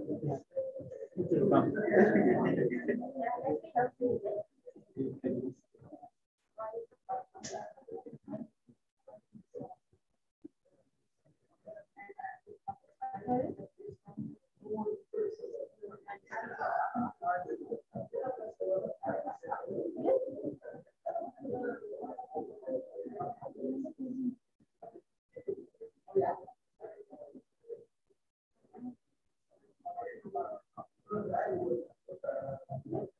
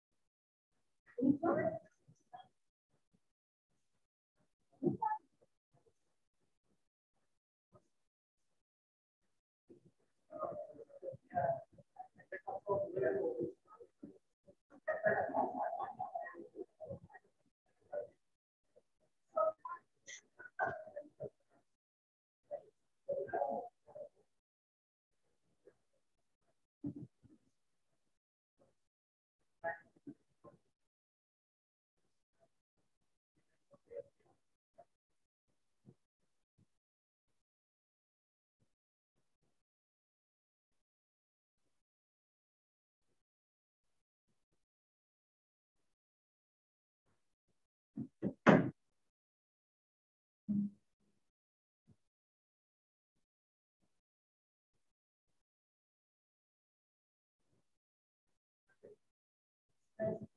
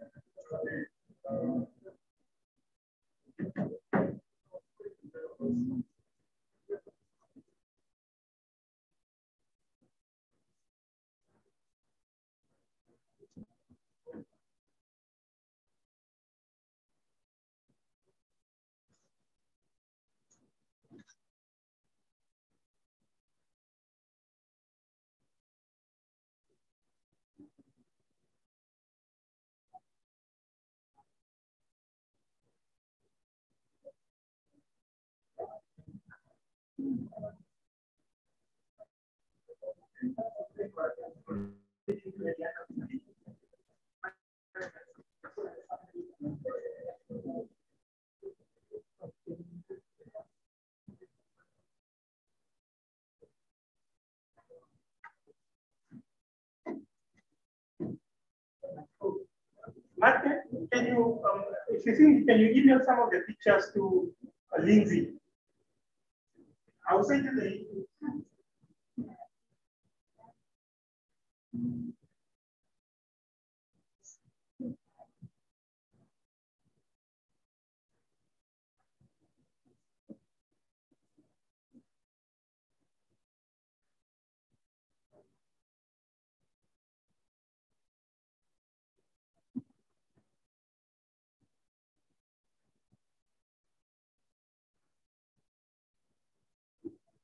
Mm-hmm.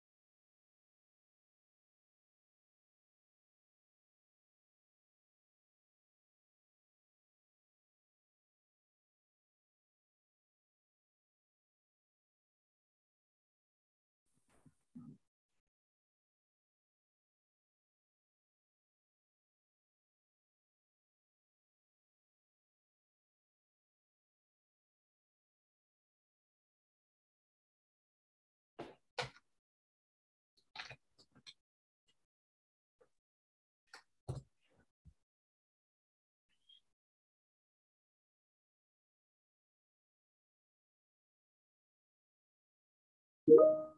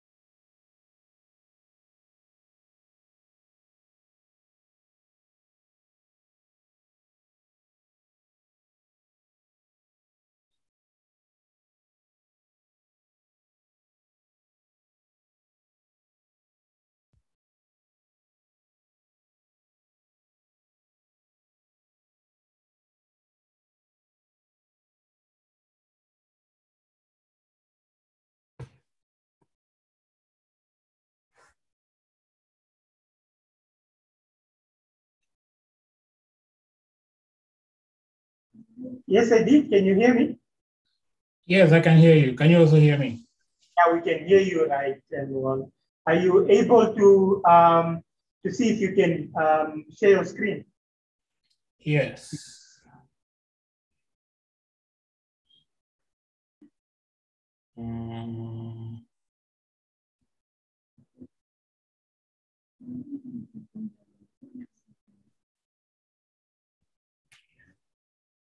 wait a minute, just give me a minute. I think I need to. Um,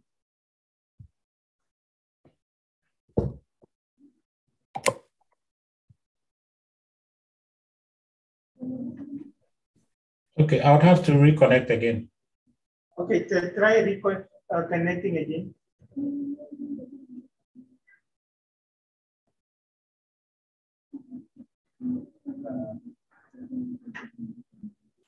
Network to connect. This one. Okay.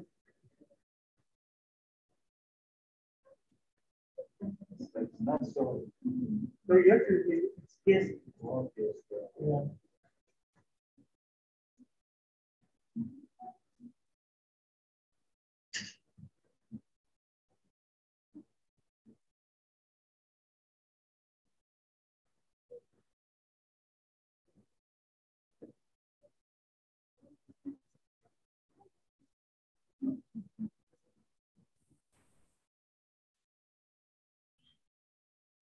Okay, I've made you co-host.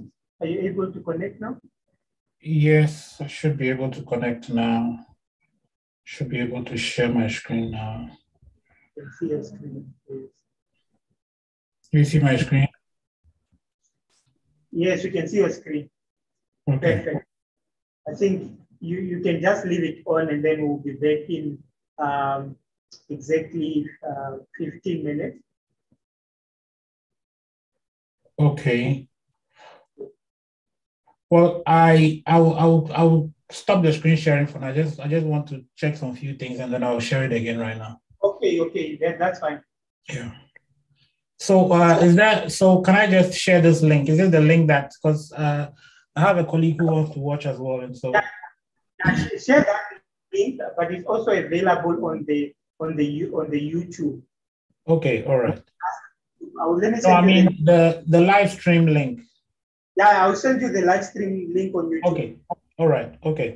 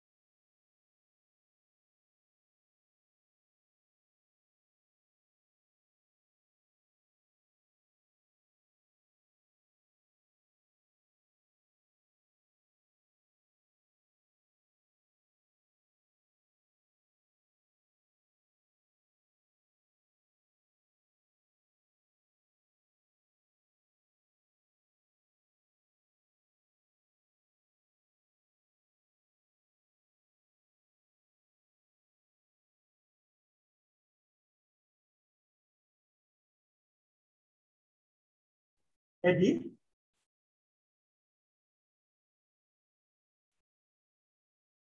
Yes. Can I share my screen now? So is it 11.15?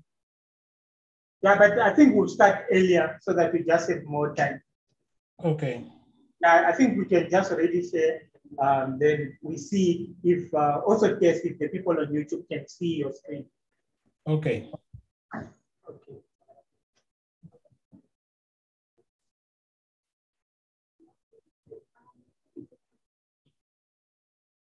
Let me just check. You can see your, screen on YouTube.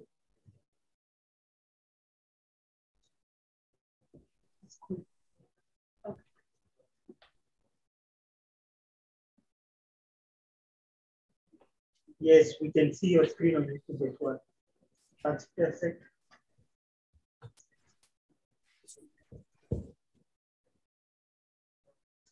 Um, Eddie, okay, Yeah. that's fine. Um, I'll just tell you when you can start. Okay, all right. So should I leave my screen shared? Just leave your screen like this. Okay, all right.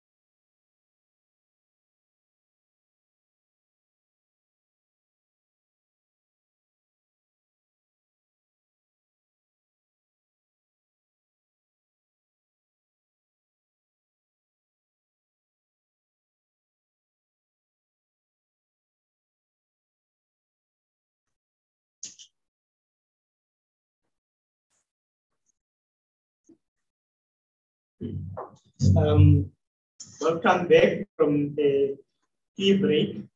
Um, we'll be starting shortly. Um, just wait for two more minutes for everyone to get into the room.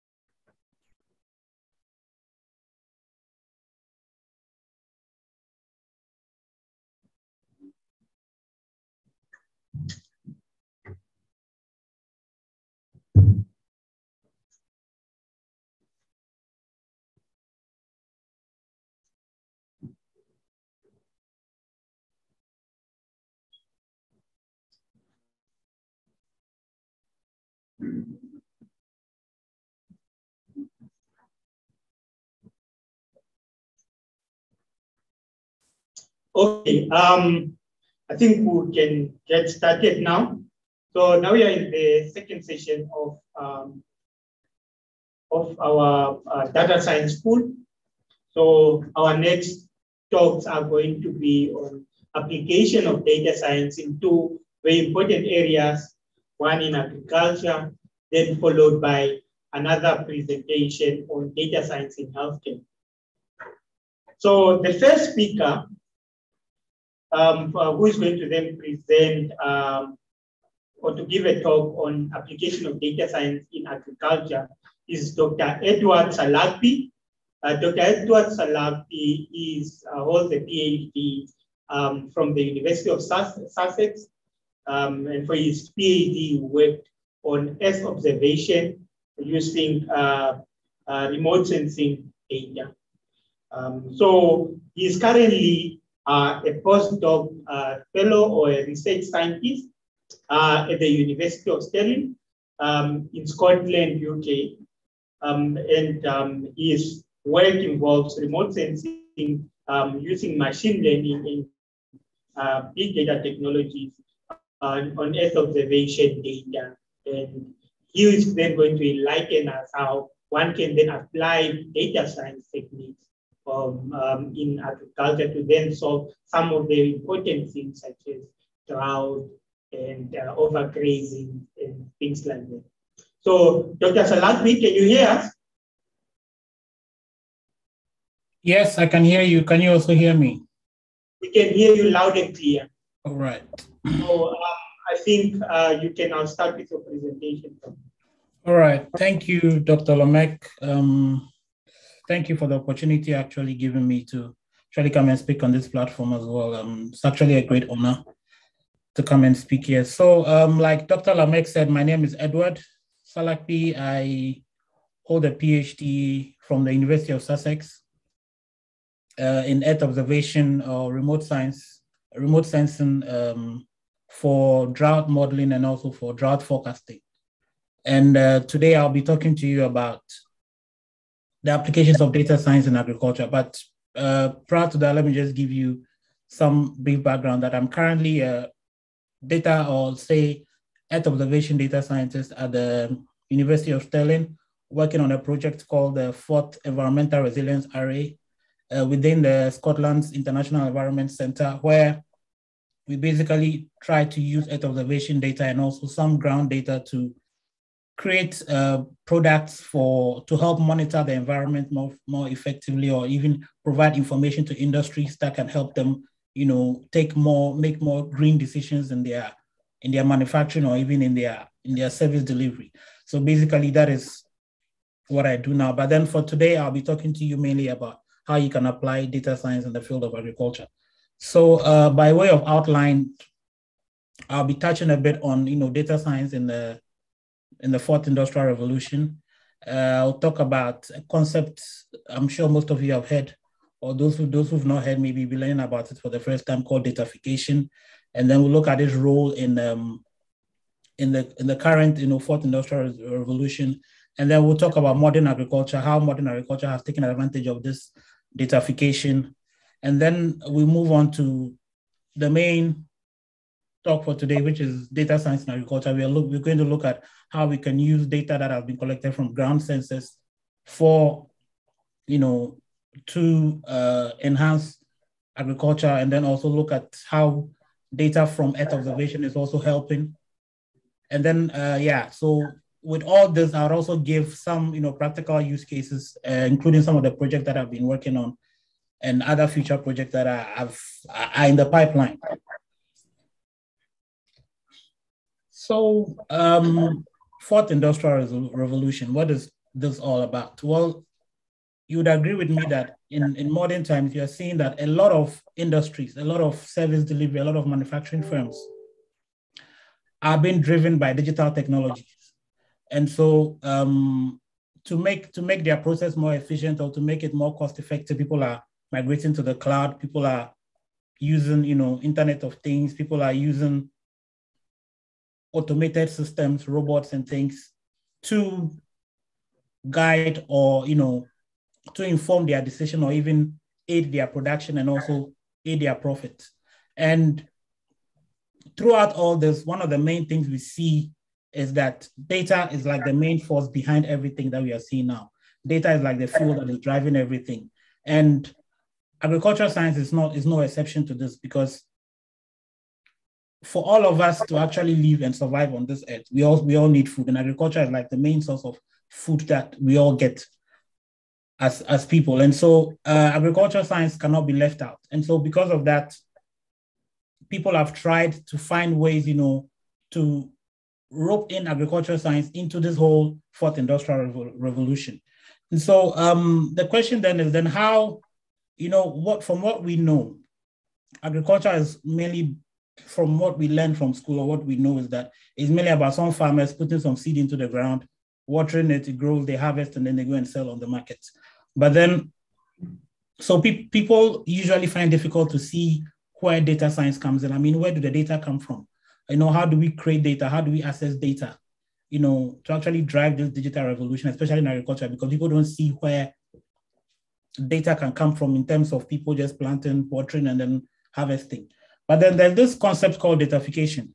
And this is what is actually helping people to bring or convert, you know, some of the things we do in our daily lives into data. So what is datafication?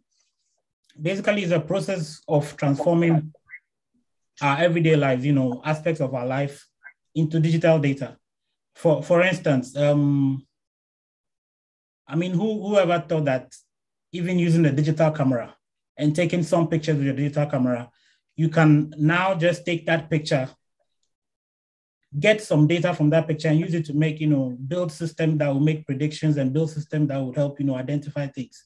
There's all datafication. Now people wear smartwatches. In those days, we just walk or, you know, run or ride our bicycles and exercise with the with the aim of, you know, living a healthy life. But with now, with these smartwatches and with all these smart devices, we are able to convert our daily lives into data. So, you know, you can collect your sleeping, you can collect data on your sleeping pattern, you can collect data on your walk, your run, your bicycle ride, and all those things. And this is all thanks to datafication.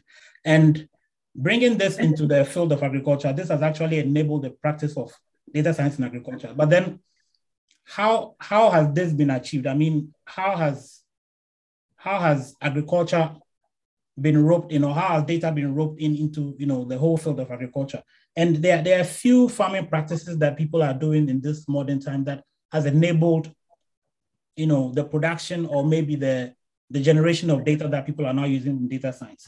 And a few of those you know modern agriculture technologies are one of the main things now that you hear the main term that you hear people talk about these days is precision agriculture you know precision agriculture is one of those farming practices where where just people just you know going into the farm to plant their seeds and harvest it's becoming a thing of the past. People are now interested in measuring some you know aspects of this process.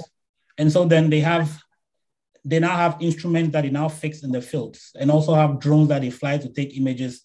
They, are, they now have probes that they fix into the soil to get you know soil moisture and then they have these other iot devices that they fix on all aspects of the farms and then what this enabled them to do is to collect data, you know, daily data on soil moisture levels, daily data on, you know, even water uptake, how well the plants are using water. They're able to collect all that.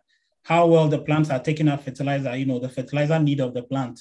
How well, you know, uh, they are using the pesticide. Do the plants even need to use pesticides? Because this pesticide, you know, some of them just leave residue in the plants and, you know, it affects consumers. And so with datafication now, with all these instrumentations on the field, you're able to measure all these things via precision uh, agriculture.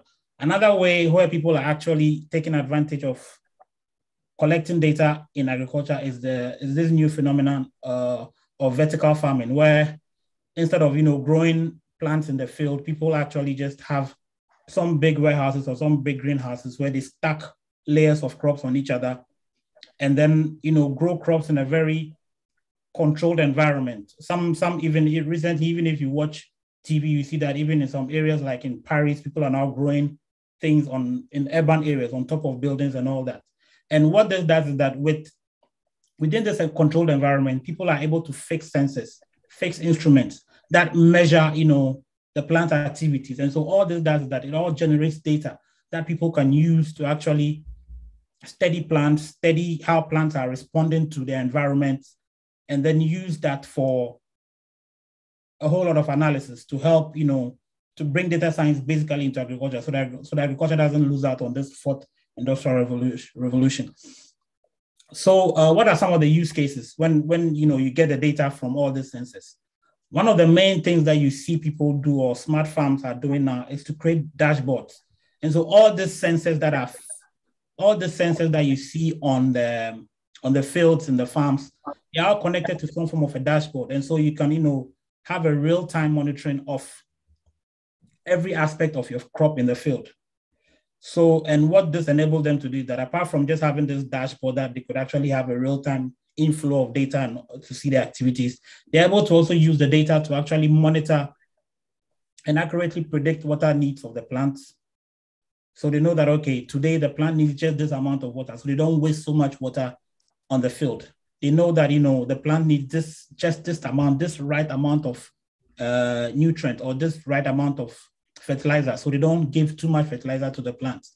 And so data is helping with decision here. And so that is basically data science being practiced in the field of agriculture.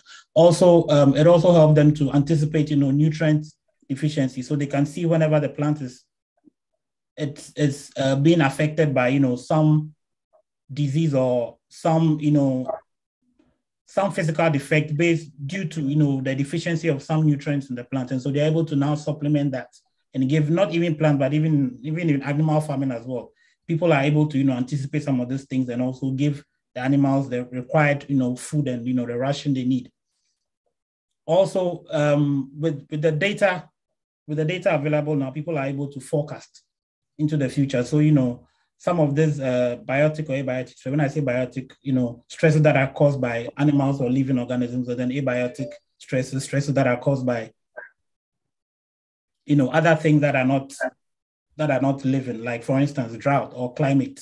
Those are those abiotic stresses. And so then if you're able to collect data on all these things, then you can see that, okay, if in the past, this amount of water and this amount of pesticide application affected the crop in this way, then you know they can put them in some models and also make predictions that okay in the future if i give this maybe two weeks ago then in the future my plant is likely to do this. Or if i if i reduce this particular you know input then it might affect the plant negatively it might affect the plant positively. And so they're able to forecast.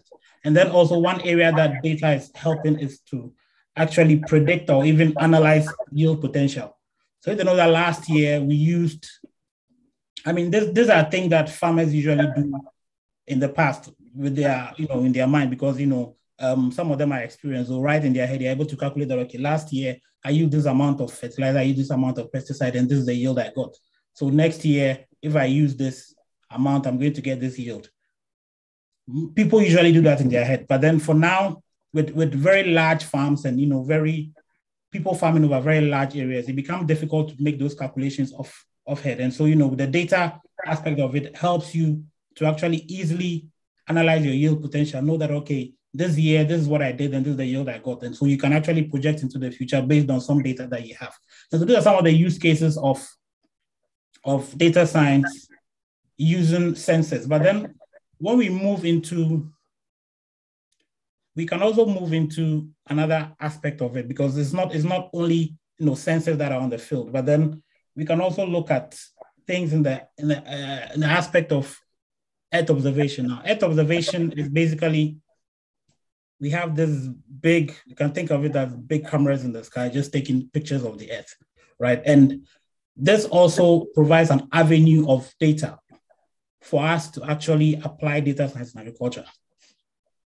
So we've looked at datafication by sensors. Now we are looking at it in terms of Earth observation. Now this Earth observation um, data sets form part of what they call the big data because we have the earth. You can you can imagine the size of the earth and you can imagine pictures being taken by these instruments right? And the pictures are taken over large areas and over some time. And so you have data coming in daily or weekly or you know bi-weekly.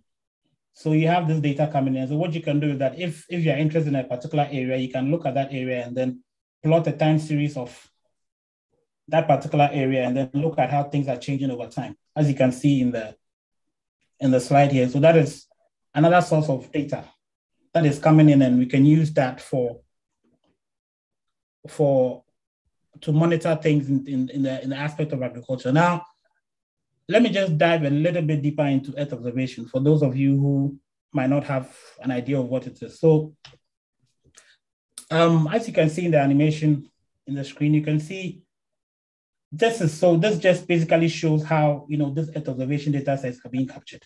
So these satellites are in space moving and on a daily basis or on a monthly basis or on a bi-weekly basis, taking images of the earth.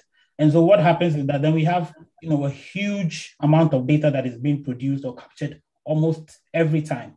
And this gives us, you know, a rich repository of data that we can use to actually monitor a lot of things, not just agriculture, but then, you know, in the field of agriculture also gives us some data to use. And so because Earth observation cuts across many fields, you know, people are using it in, in uh, drought monitoring, people are using it in minerals, people are using it in uh, climate change and all that. But then for agriculture also, it gives us some good enough data to also use to study things pertaining to farming and agric.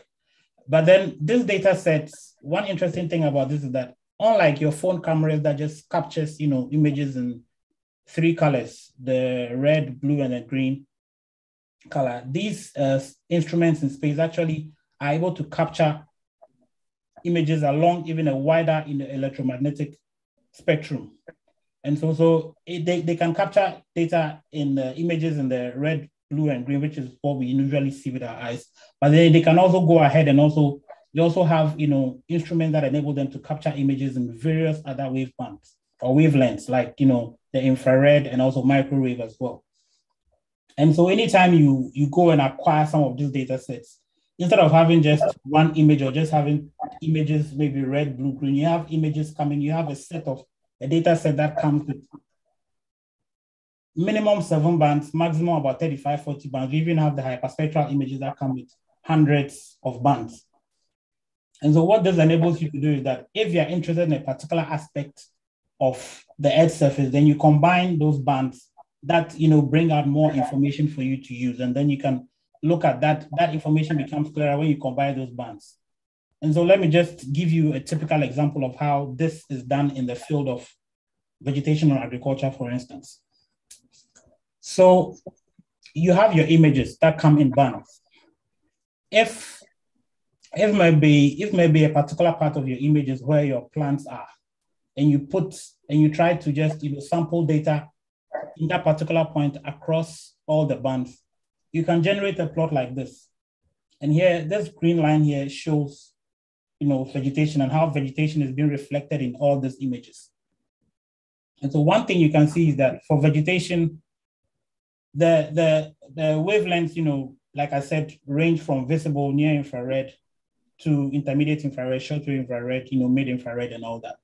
If you look at a pixel, if you look at a pixel within the image, that represents a vegetation or crop or plant or something on the on the ground. You can see that in the visible spectrum, there's there's less reflection. So you don't get you don't get the pictures reflecting a lot of light because that is how you know cameras capture images. It's based on the light that is being reflected. That's what the cameras capture. And so you can see that in the in the green, in the blue, green, and red, light is not, a lot of light is not reflected. This is because a lot of those light is absorbed by the plants. And these lights are absorbed by the plants to use for photosynthesis. If, if you remember your basic science from high school, you know what photosynthesis is, you know that uses light. And so a lot of those light is absorbed. And so if if you take the blue, green, or red band, for instance, you will not be able to see plants in those images that you're interested in. But interestingly, if you move away from the visible and you go to the near infrared, you see that there's a high reflection of, of you know, vegetation in the near infrared. And so what this enables us to do is that if you want to actually study plants using satellite observation data, then our band of choice is the near infrared. But then also you see that within the red also there's some form of you know high reflectance because the red band, the red color is one of those colors that are not you know, absorbed by the plant during photosynthesis. Usually the blue and the green. And so you see there's some reflection, but then the highest reflection is seen in, in the near infrared. And so if you wanted to study vegetation or crops or whatever it is, then your interest here is to look at the near infrared and the red band. And so there's this index very popular index in Earth observation called the Normalized Difference Vegetation Index, or the NDVI. And basically tells you how stressed, you know, a plant is given some satellite image. So if, if the plant is healthy, then you have a high reflection of near infrared, and then a very low reflection of red, you know, the red band. If the plant is not healthy, then or stressed, you see that there's a there's a somewhat higher reflection in the red and a low reflection the near infrared. So if you put the red band and the near infrared band into this formula here, you derive what they call the NDVI. And the NDVI basically tells you that plant at a particular aspect or a particular point on the earth is healthy or not healthy. And that is one of the ways, you know, data from we are using, you know, just pixel information. So now we are converting pixel information to useful data and to useful information that we can use to actually monitor agricultural activities on the on the ground. And that is data science being applied in the field of agriculture or any other field that has to do with vegetation stress. And so now, so if if you are able to now collect this NDVI, for instance, over time, then um, well, one thing I also needed, I wanted to touch on is that what I showed over here are just reflectance images or reflectance data. So, you know, whenever you capture the images and they convert them to reflectances, um, those pixels, the pixels that make up the image are usually called reflectances. So you just, you just basically how much light is being, you know, captured by the camera. Other data that you can get from satellite Earth observation include, you know, rainfall. You can also capture rainfall from satellite Earth observation with the, with the use of another form of satellite Earth observation called the radar satellite Earth observation, you can actually also capture soil moisture. And then some of these satellite Earth observation instruments also have what they call the thermal instruments, and they're able to capture images also in the thermal band. And so you're able to get land surface temperature as well. And so what you can then do with this is that if you want to actually study vegetation on the ground or study or you're interested in agriculture science, then you can actually use all the satellite data sets that are also available to actually study that. So, uh, for instance, for my PhD research, I worked on Kenya.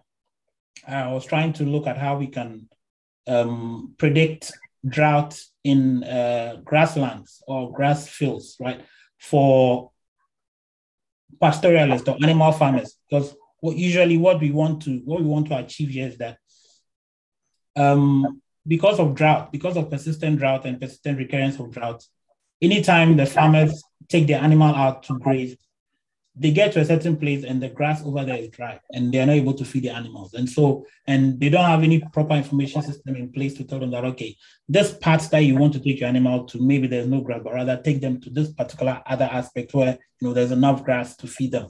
And so what, what, so that was the premise the premise for uh, for my PhD uh, research. So I was trying to see if I can harness, you know, all this satellite information, process the data, come up with a time series of, you know, images, and then if I pick a point, I'm able to see if I can look at how vegetation is changing a long time.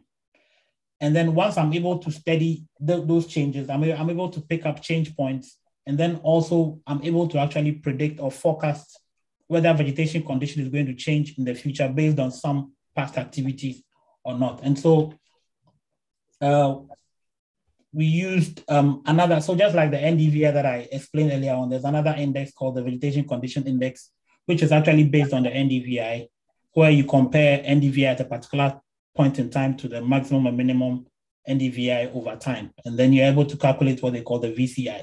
And the VCI is, is a popularly known um, agricultural drought indicator.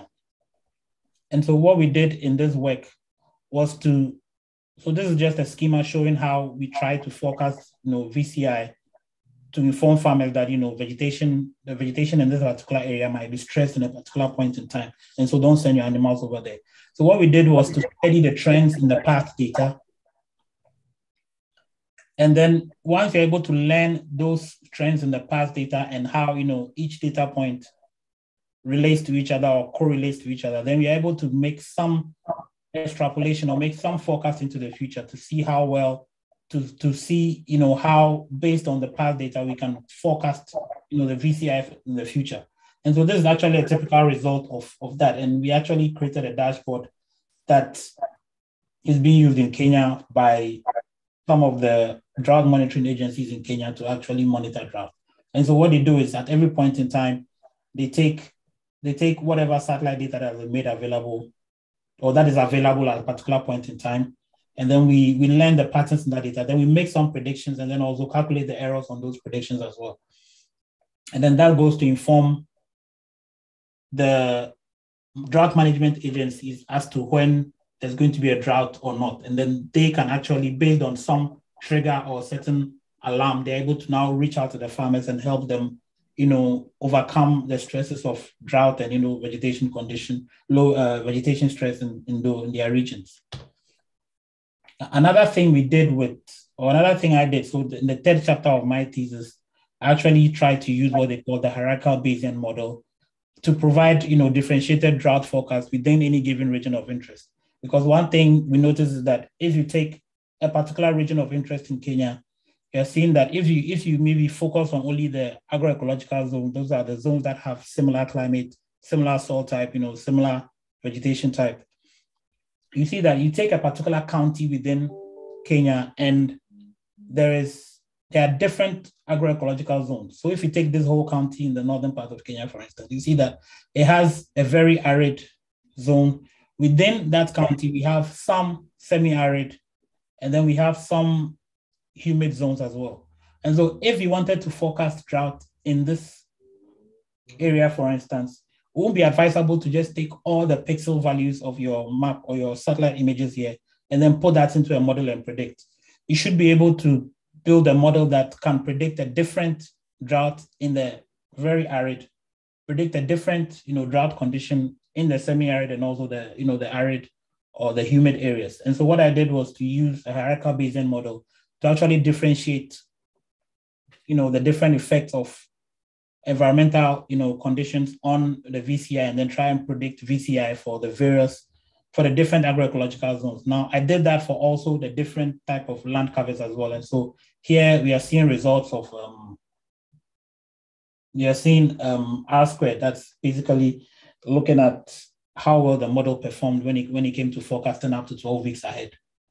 And so you can see that at four weeks ahead, we are having R square values of, at four weeks ahead, we're having R square values close to about almost 90%. And then as you move ahead, as expected, the performance drop. But then what you can see that as at, as about eight weeks, we still have predictions or forecasts that are saying that, well, the model is predicting, you know, very accurately the VCI at eight weeks and even 10 weeks, because we are still, if, if you decide to even put a threshold at 70%, you're seeing that your model is doing very well up to about 10 weeks. And for, for some for some uh, agroecological zones and then for some land covers. So the important thing we wanted to point out here is that you could see that, yeah, the model is predicting very well for the very arid regions compared to the other arid regions, co- compared to the other, you know, agroecological zones.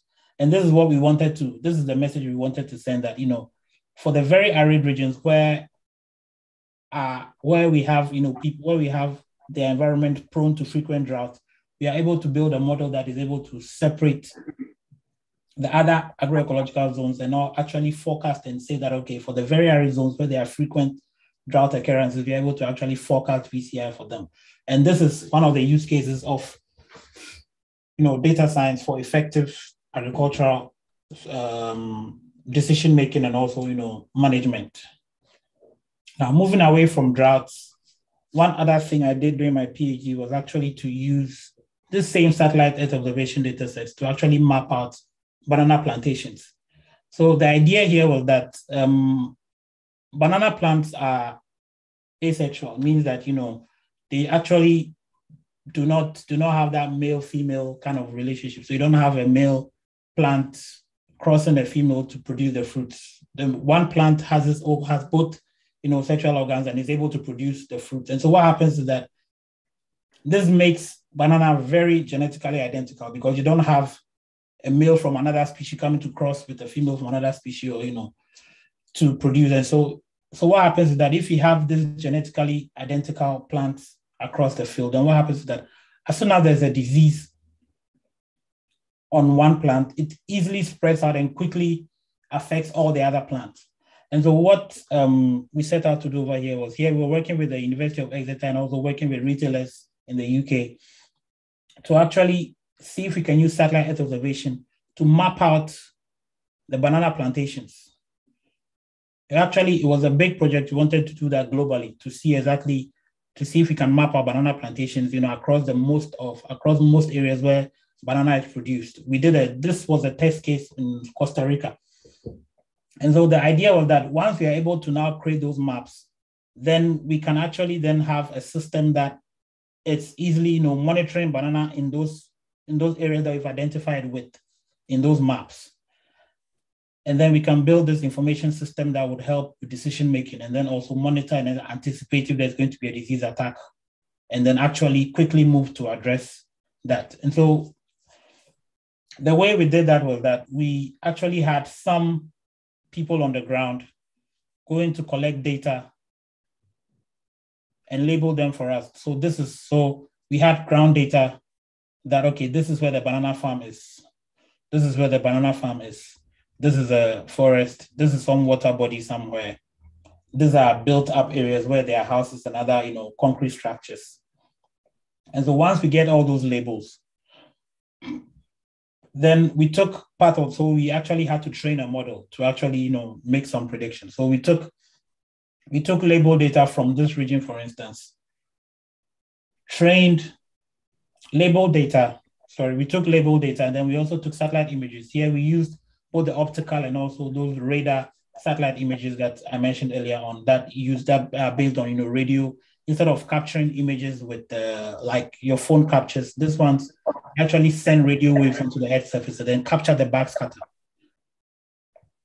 And so we use those satellite images with the labels and then train some random forest classifier and also some uh, artificial neural network and then try and see if we can predict these banana plantations in areas that were not given to the were not seen by the by the model and this this is this is the result of of this, this, is, this is the result of those models. And so if you look at the random forest classifier, for instance, you can see that in the area that we did not train the data on, the we did not train the model on, sorry, the model was able to capture these banana plantations very well and also capture, you know, where the water bodies are, capture the other, you know, forest areas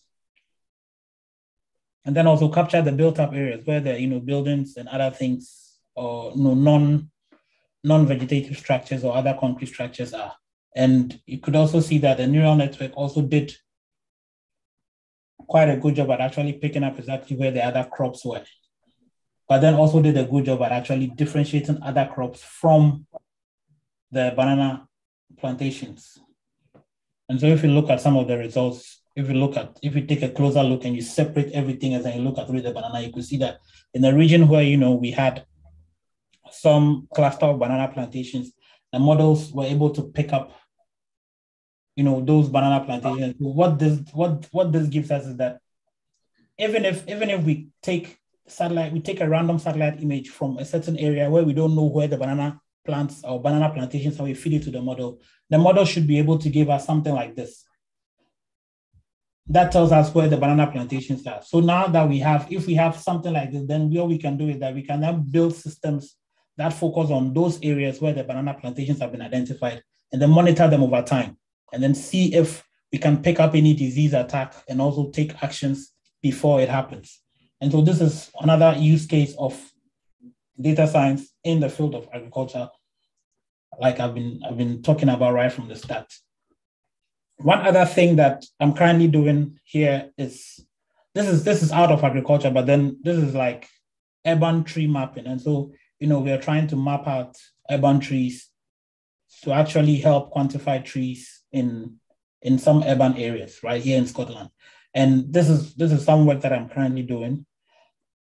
And so, and here, so uh, earlier on, the examples I showed were based on pixels. So we, we actually sample pixels and then train the model to see if they can identify the pixels. Here, what we are trying to do over here is to do a more, more of an object detection thing. And so here, we actually label the objects, give it to some deep, you know, convolutional neural network model, and then try and see if the model will be able to train on the data and actually identify those objects. And so if you look at some of the results over here, we had some image here with some trees cluster of trees over here, and we labeled them with a mask. And then when we trained the model, the model was able to predict that you know everything it sees in this region are actually trees with, with a very high precision and a very high recall. And so the idea here is that if we are able to train a model to identify trees in urban areas, then can we actually transfer that technology into the field of agriculture as well? And so one of the projects that I'm actually working on in Ghana now is so I'm actually originally from Ghana. So one of the projects I'm working on is to see if we can use similar technologies to actually map out rice farm because rice is one of those key staples in Ghana, and the government spends a lot of money importing rice into the country. Whereas we have a lot of rice farmers too in the country. So why don't we identify where the rice farms are, see if we can support them with you know the needed infrastructure, whatever import resources they need to see if they can boost their production and also boost their yield so that you know we cut down on importation of rice into the country. And so what so the first the, the first place to start is actually to identify where these rice farms are located all over the country. The ones we are able to find that because it will be it will be a lot of work giving somebody a car and money to go around the country looking for rice farms. And so why don't we see if we can use satellite images to actually identify where these farms are and then see if we can build some information systems at the regional scale that will monitor this. I mean, this is just a test case of rice. We can actually, you know, move this into other crops as well. And so that is another way that, you know, data science with the help of satellite Earth observation data has been is going to be applied to help in agriculture. Another thing that we can also do is that we can actually also combine the two senses, right? So here, here I won't give much details here, but just to give an idea that, for instance, if you have a ground data, if you have a ground uh, sensor on a farm somewhere, and let's say maybe you want to measure ground water water table you know, levels, the sensor, if it's located here, would only have you know a, a less footprint. Okay, so that means you can only capture data on, on a small area where the sensor is located. But if you combine, if you combine the ground sensor with some satellite images, then you're able to strike some relationship, you know, find a model that you know links them together. Like, like for instance, you take some satellite data like crop water index, which have been calculated with you know satellite imagery using those bands that I said earlier on. Then, if you're able to find that correlation between the groundwater level and the crop water index, then what happens is that if we wanted to find groundwater you know, groundwater level that a sensor, sensor uh, measured at a small area, but then wanted to find that at a very large area. Then if we find that relationship, then what we can do is actually build models that would actually take this satellite data as input and also give you, you know, water table levels across a wider area based on that one sensor information that you got from a smaller area. And so that is another way we can combine, you know, data from you know ground sensors and satellites to actually come up with products that you know cover wider areas so that you know it, it broadens our scope and also helps us monitor things at the regional scale. And there's another also useful way that we can bring in you know data science into agriculture to monitor things that are useful to not only people who can afford the sensors, but also make it available to people elsewhere who might not have the resources to afford these expensive sensors on their farms. And so to conclude, um, we have seen that due to, thanks to datafication, um, farmers and agriculture science as a whole has not been left out in the whole fourth industrial revolution. And uh, data science and agriculture is actually helping to do a lot of things. And some of them are, once you have this, you know, data streams coming in, or you've identified the source of data and you're able to analyze them and put them into these models to, you know, get out insights or to get insight from the data, you're able to effectively manage your resources. You are actually able to manage resources in a way that would make your farm practices and agriculture practices climate smart.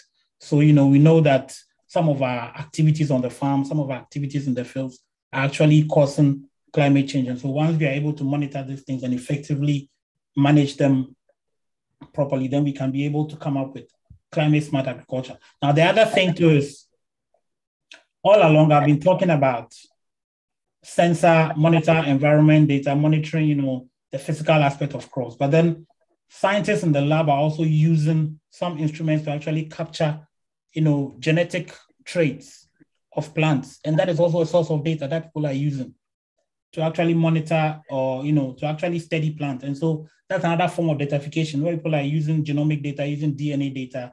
And what that does is that with those genomic data sets, combining them with the phenotypic and then also the environmental data, what they are doing is that scientists in the lab are actually develop crops that are climate smart. So you know you can develop a new seed that is able to withstand some harsh weather condition. Is whether to grow. Is is able to grow even with little uh, fertilizer or even to, even able to grow with little you know water requirements. And so they're able to they can develop based on that data that they've been able to extract from the genes of the plant. They can develop climate smart crops. And then also you know with the data science also what it does that it helps it helps with to prevent post-harvest losses because you're able to analyze your yield and you're able to analyze and know that okay this is the amount of input that i need and this is the amount of yield that i'm going to get and so you are able to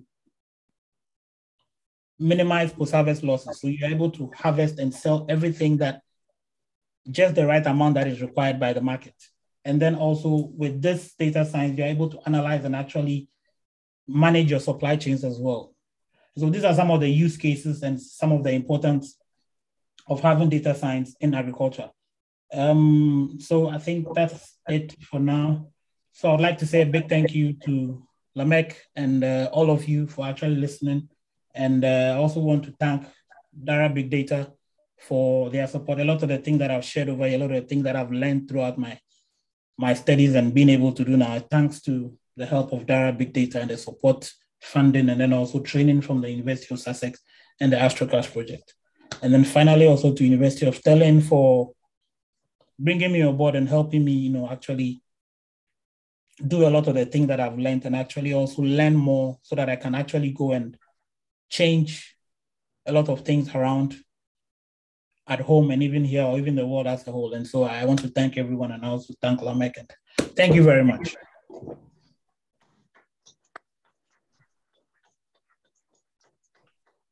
Wow, thank you very much, um, Dr. Salakpi, for that uh, very, very important um, presentation, insightful indeed. There are a lot of questions uh, in the room, so um, Emily, can you just help with the questions?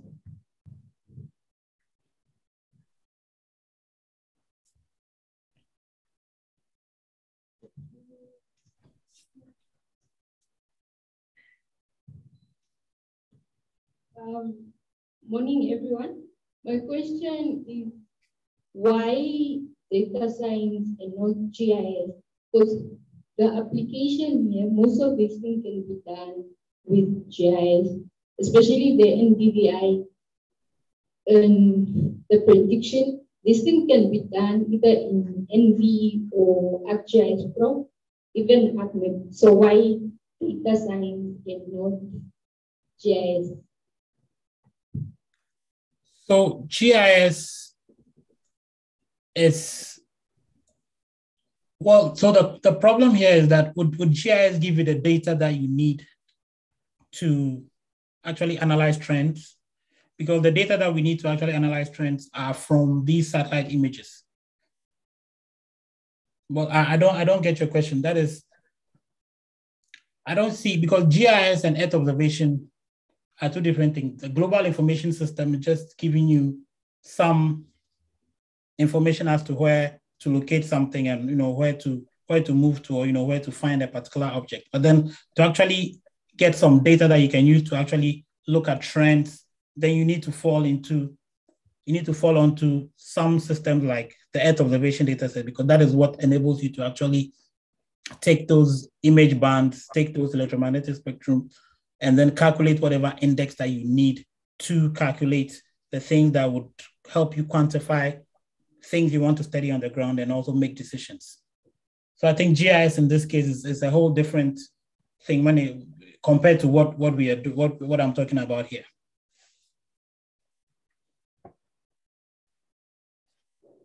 Okay, um, yeah, the next question. Mm -hmm.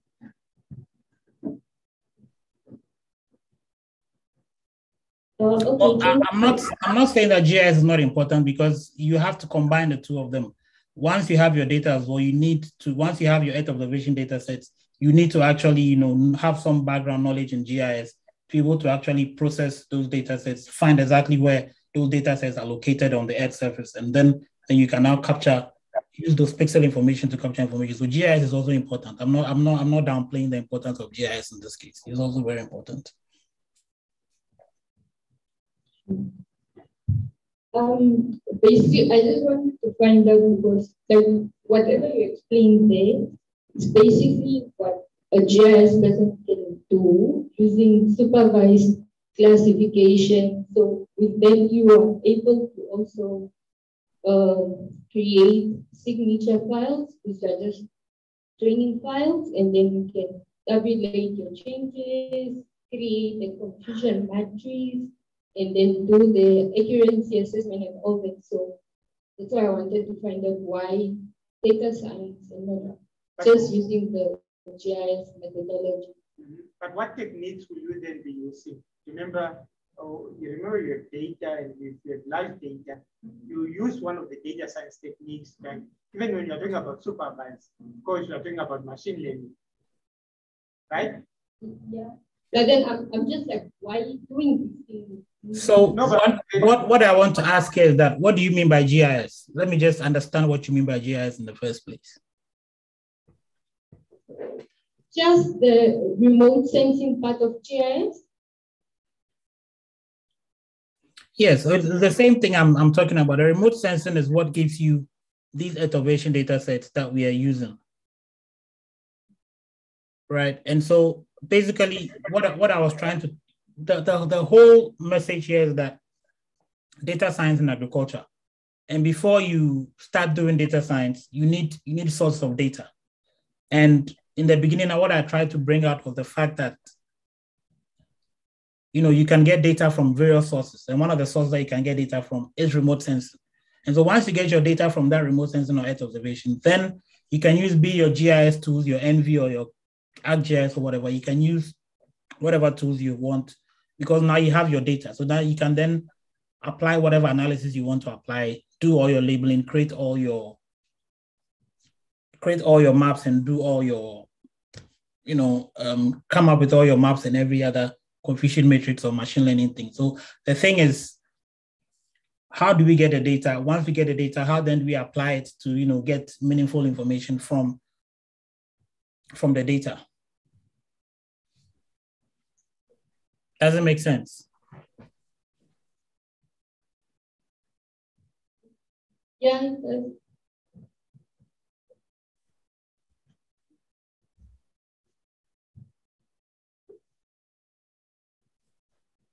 Um, hello, uh, Mr. Edward, are you there? Yes, I'm here. Okay, thank you so much for the insight presentation.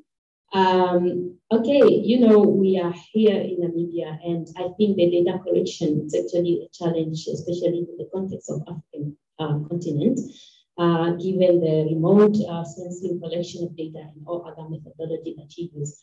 So I would want you to share different, since we have different researchers here at the university, probably that would want to carry out uh, research in this area. So I would want you to share some open sources where we can actually get access to the open, uh, the Earth observation data, if it's possible, or what, um, how did you gather all this data? Since um, I think in Scotland, probably it's easier to get access to this data, or um, and I don't know about we if we have the same access Namibians uh, when we are here. So if we do, can you kindly just share uh, some of these open sources where we can find the Earth observation data that can yes, actually so, be used in uh, agriculture.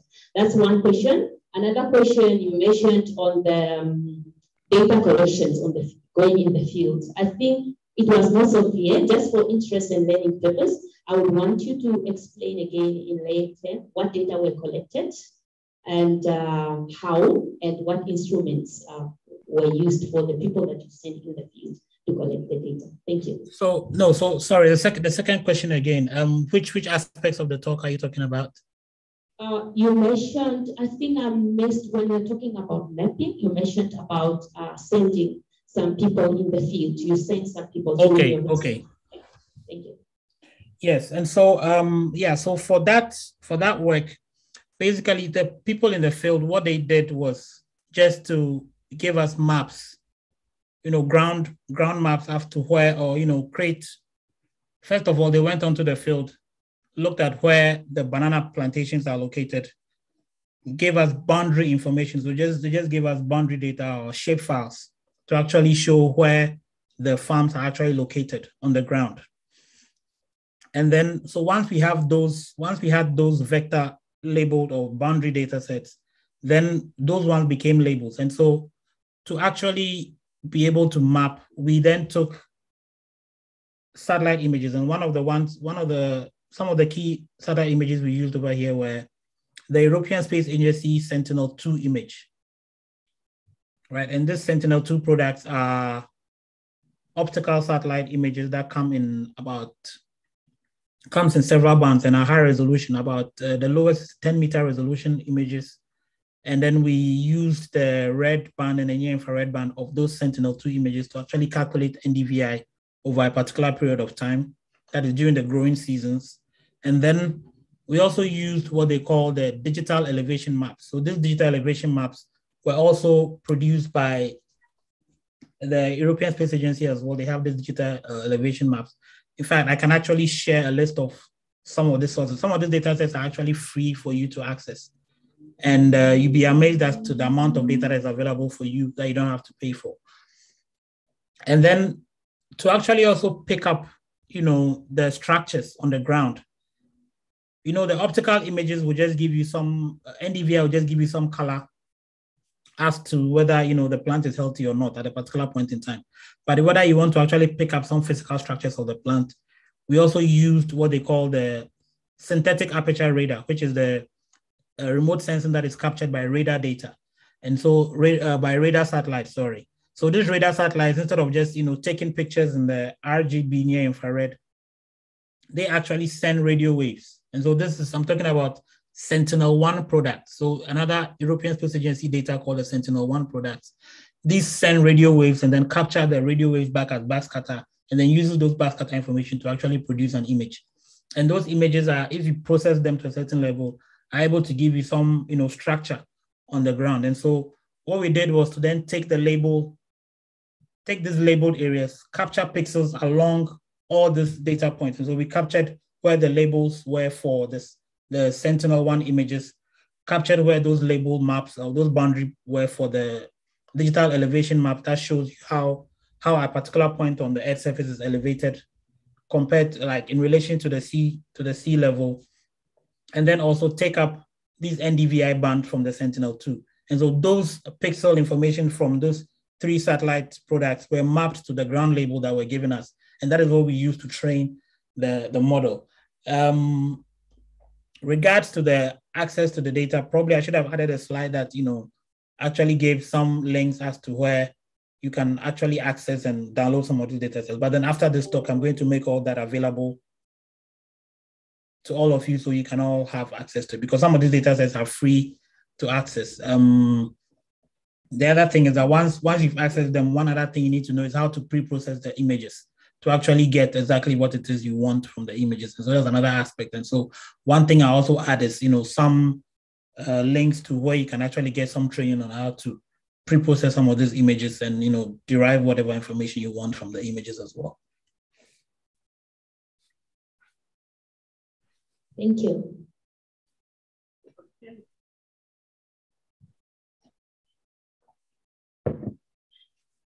Um, wow, thank you very much, Dr. Salakpi, for your time and really for enlightening us. I enjoyed very much, like many in the room, uh, your presentation.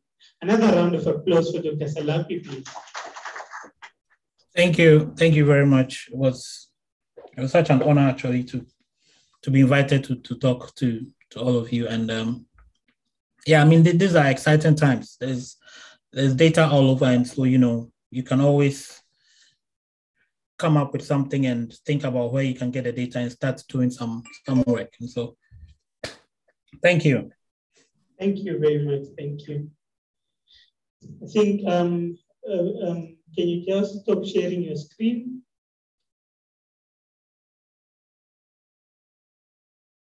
Dr. Eliana, can you hear, can you hear us? Yes, I can hear you. Can you hear me? We can hear you loud and clear. Excellent. Are you able to share your screen? Oh, wow, nice to see you. I cannot see you, Lame. Why? Oh, because we, um, let me just, the video has to, let me see.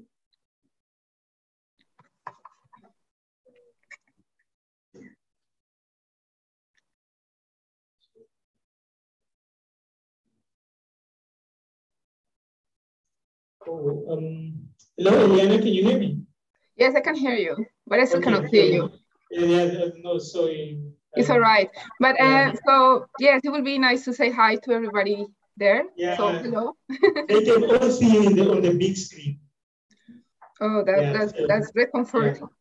Yeah. yeah. Um, so, um, ladies and gentlemen, uh, our, most, our next talk is going to be given by Dr. Eliana Vasquez uh, Osorio. Dr. Eliana Vasquez, um, a special to me because she was uh, my supervisor, one of my supervisors for my PhD, and I have worked with her um, for three years. So we really got to know each other and establish um, a good relationship. Uh, she is a senior um, research fellow at the University of Manchester. Um, and before that, she did her PhD um, uh, many years ago in, um, in the Netherlands. And her work currently um, is on the application of radiotherapy using um, a lot of data mining techniques and focusing on uh, image registration, dose accumulation and mapping, image processing.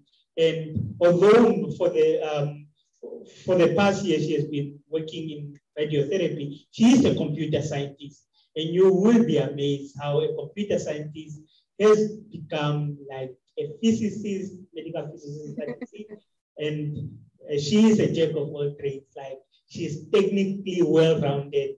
Um, so, uh, Dr. Eliana, thank you very much for um, for accepting our invitation to give a talk the NUST DARA Data Science School. We really appreciate your time and looking forward for your insightful presentation. Awesome. No, thank you very much, Lameck. It's a honor to be here. And I mean, of course, I would love to be there to be able to see you face to face. Hopefully, will be next time. But again, thank you for inviting me. It's, it's really honor. So I'll share my screen. Uh, could you confirm you see it? Yes, we do see your screen. And you're seeing the, the right screen, right? Not the one with the notes. Yes, we are seeing the right one. Perfect. So uh, hello, everybody. Um, let me, can I ask how many people is there, are there? So um, we have 30 participants uh, participating in the school, although we have also other people online on YouTube. Okay, so, fantastic. So we were expecting to have more people on YouTube. So because we had 172 that applied, we only chose 30, so the rest were supposed to um, participate virtually. Wow, that, that sounds like a fantastic school. Well done, well done, Lameck. Okay, so let's go back to, to the presentation I'm going to tell, to, mean, the talk I'm going to give today. So Lameck asked me to talk about applications in data science of data science in healthcare. As Lameck said, I am a senior research fellow at the University of Manchester and the Christie. So I have been working in radiotherapy for a long time. So I will, that's going to be the focus of my talk. But before we go into that, so I went into PubMed um, because it's a very wide talk, so right, applications in healthcare. And the only thing I did is I did I checked review articles in the last year, and then I found use of data-based or data-driven applications either in artificial intelligence or natural language processing in many, many, many, many different places. So this was for diagnosis, for example, for treatment, but also for follow-up. And this is actually only, I just picked up five of the most recent review papers. So when we're talking about a review paper, it's because there is enough work behind publications to actually make it kind of mature, to be able to join them all together. So this is actually telling us that there are many data-driven applications going on in healthcare at the moment, like so many that if we will take the whole week talking about this. I mean, we'll be not, not, not even have enough time to talk about them all. So to be able to talk about nice things in half an hour, let's focus on radiotherapy. So in my particular field, again, radiotherapy, uh, there are many, many concrete examples, and I'm going to give you a couple. But before we go into that, let's talk about radiotherapy, just that we all know what we're talking about. So radiotherapy is the is the is a cancer treatment which you use radiation to kill or to, to damage cells, hopefully only cancer cells. So the point is that you put you you point a beam of ionization radiation like this, but this is an example, this is just a schematic, and it goes into the cells, it breaks the DNA, and most of the cells, especially the cancer cells, are very bad at repairing themselves. So when they are completely damaged, the body simply comes and eliminates them. So that is the basic function or the basic concept behind radiotherapy.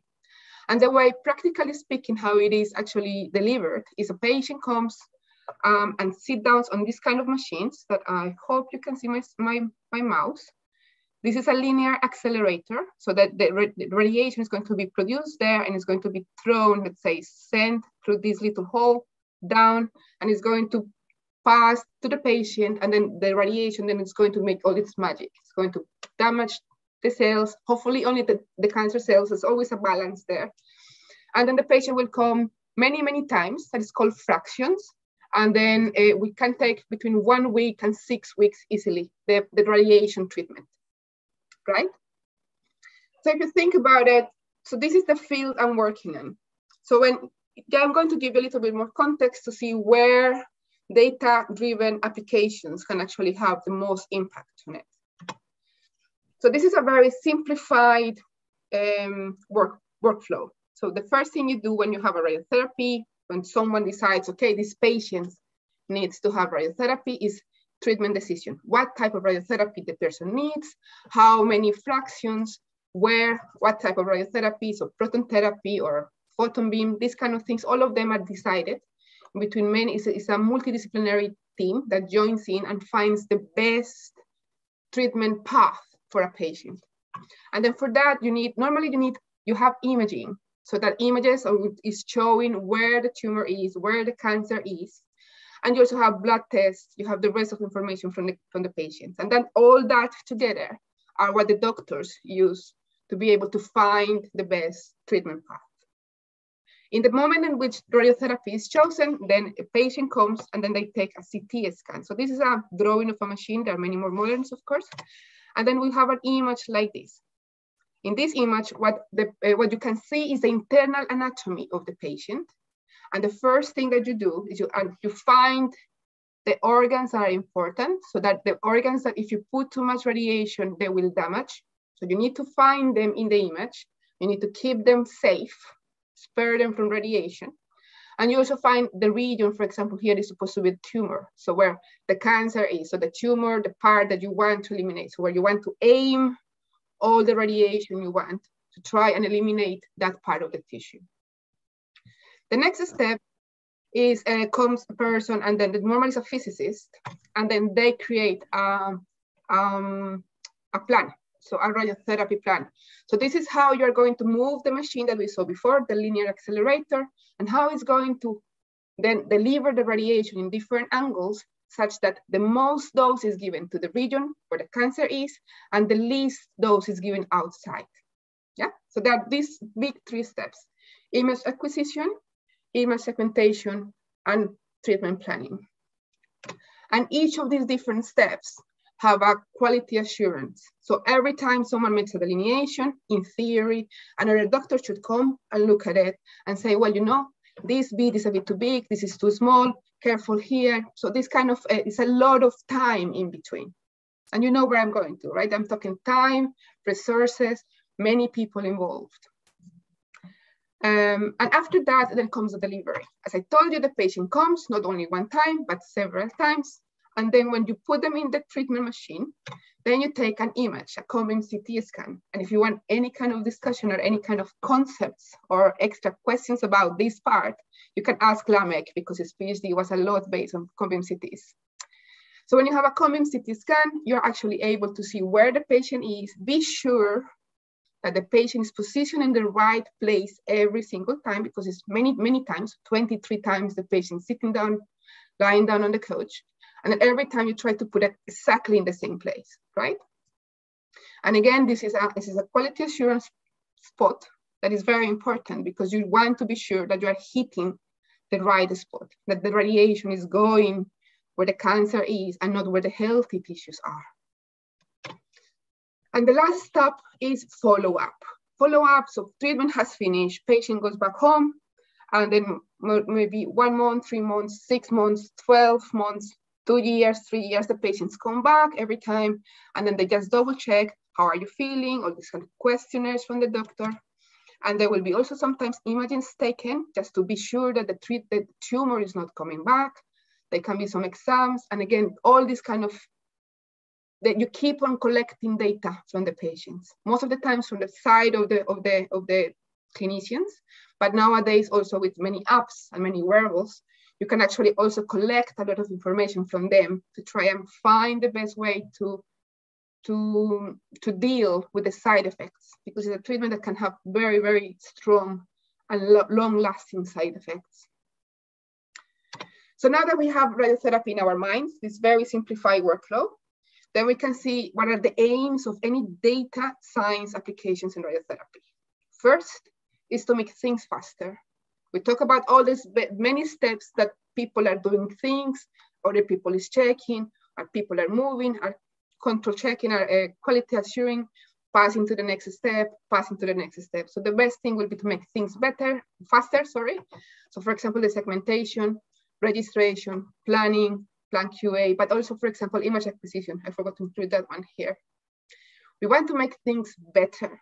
So if we, if we, if we are able to actually free time in these things that took a lot of time, maybe you can start focusing on things that are more difficult and making those better or even you can have AI or any kind of data science applications, of course, data driven, uh, to help to help improve uh, things. I will give you an example of this.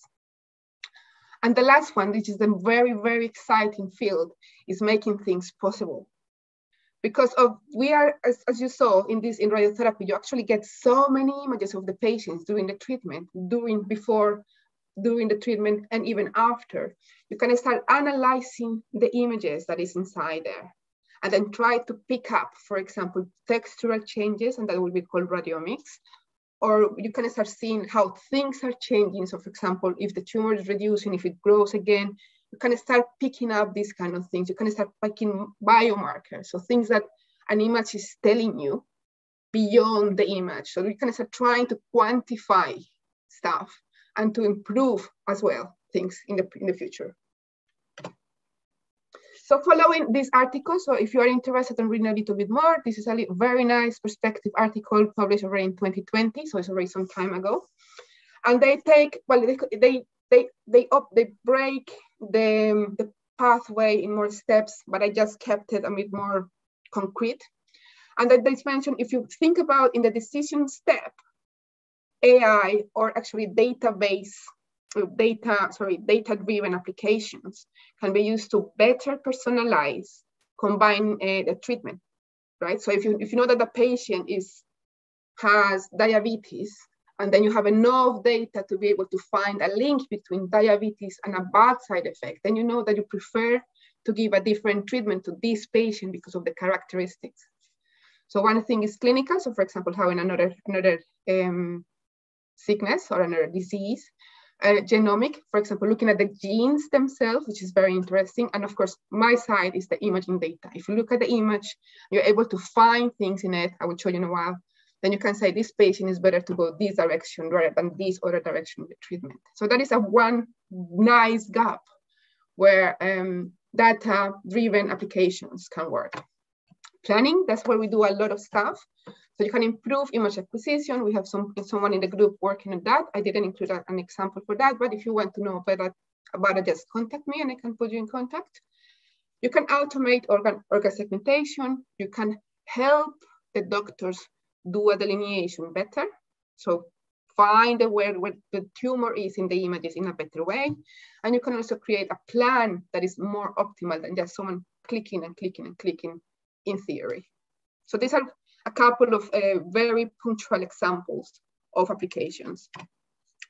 In delivery, as we saw, the patient comes many, many times, and if we can find a better way to, to manage the motion, so every time a patient comes in is a little bit different. For example, it ate uh, a big lunch one day, and the next day he didn't have anything, only water, so you will have a big difference, for example, in the abdomen. Or a person had a cold, so he had a congested nose one day, and the next day he didn't have it, or the next week didn't have it. So there's some changes that can have uh, impact and some ones that are not so important, but still will be a very good way to try and manage this thing. One important one that we don't work on, but I know there's many, many groups working, is to help scheduling. So if you have, for example, three different machines and you have 150 patients coming, what is the best way to plan them in the four machines that such that the patients don't interrupt the treatment, but also that you have the best use of your machines. It's a double-sided. It's a very, very cool um, field itself. But yeah, so if, if you're interested, that's also another way to go. And finally, follow up. If you have an image of a patient or you have something from the patient, it would be the best to, for example, see whether the patient could um, is going to to have a side effect or a very strong one or not so strong. And then if you know that the patient is going to have a side effect, for example, the patient is going to suffer from dry mouth, because of the radiation that damage the, the salivary gland, then you can from the beginning start training the, the patient how he can handle that by having extra water, extra this, extra um, medication, and so on. So this is these are very nice gaps where data science could actually very much impact only radiotherapy. And again, this is very, very down in radiotherapy as a cancer treatment. But if you go back and you think about surgery, you go back, you think about, there are many, many places where you can actually do great changes. So as I told you, I'm going to give you four examples of applications that we are working in our group. And the first one is about segmentation. So you remember you have a CT scan and you want to find the little bits in the, in the image that correspond to the organs. So for example, in this one, you have in green, this is a brainstem. In blue, the backside is um, the spinal cord, the mandible, and the parotid glands. And then here you can see it better. So this is work from one, one of my PhD students, Ed, who is fantastic and has done great work. Um, and what you have here is he adapted a 3D UNet. So this is a, a convolutional neural network. And he adapted to be able to find a segmentation model, so a model that finds those bits of anatomy in the images, but with a very, very limited data set. And not only he did that, but he also showed that if you have a very limited data set, but that data set is of high quality, has a big, uh, sorry, has a better performance than having a very big data set where the, the, the, consistency or the quality of the, of the input data, or the training data is less good. And that is using the same model, the very same model. So he had, for example, in here in green, you see the lines in here in green, are showing the contours that are generated by um, training data in this model with 34, 34 examples, yes. And they're highly, I mean, curated. So everybody came here and they, they double check and they revise it until everybody agreed. So a, a group of five people, I think they agreed that these are the real contours of the organ. And then next to it, he, he so the staple, those are the contours that I tell you the people agreed on, so the yellow ones. The red, the green ones are the ones that work with a very limited data set. And the yellow one in, and the red ones are the ones that are with the largest data set. And in general, the red one is not misbehaving too much, but it's making it a lot smaller here, for example, also in this side.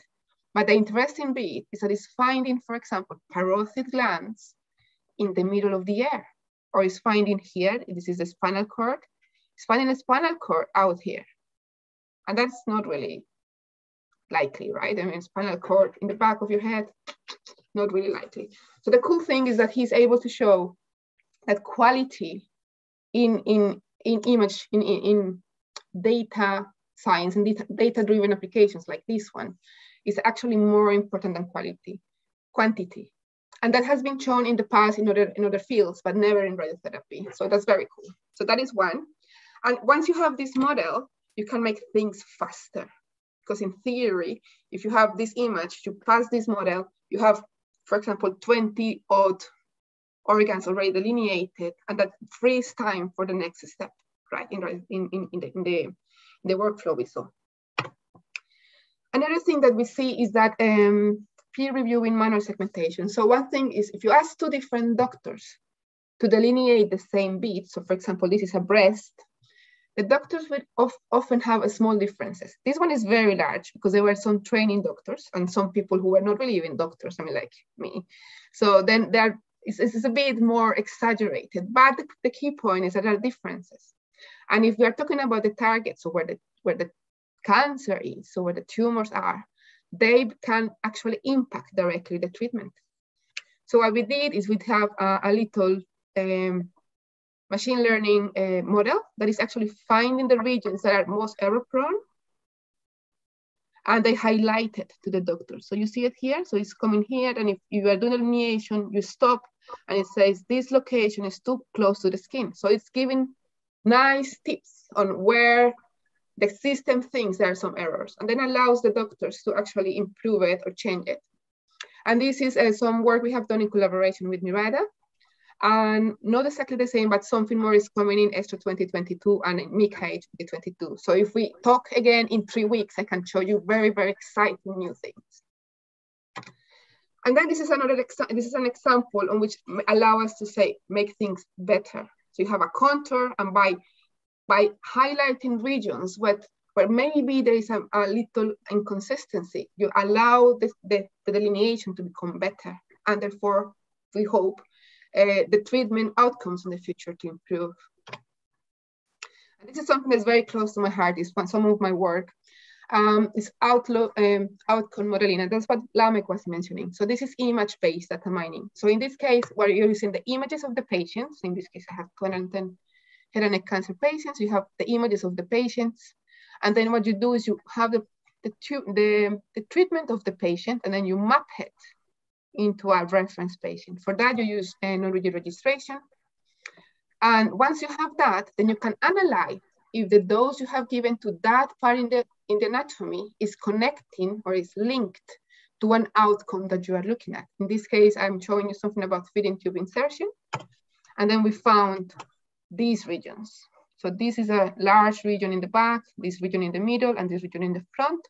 These two are understandable because this is the tongue, and this is the um, uh, one of the muscles that helps you swallow.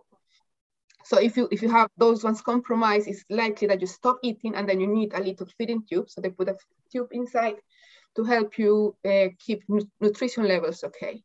The interesting bit that came out was this, this top here. This is the brain stem. So this is in the brain. So we didn't expect anything to be connected.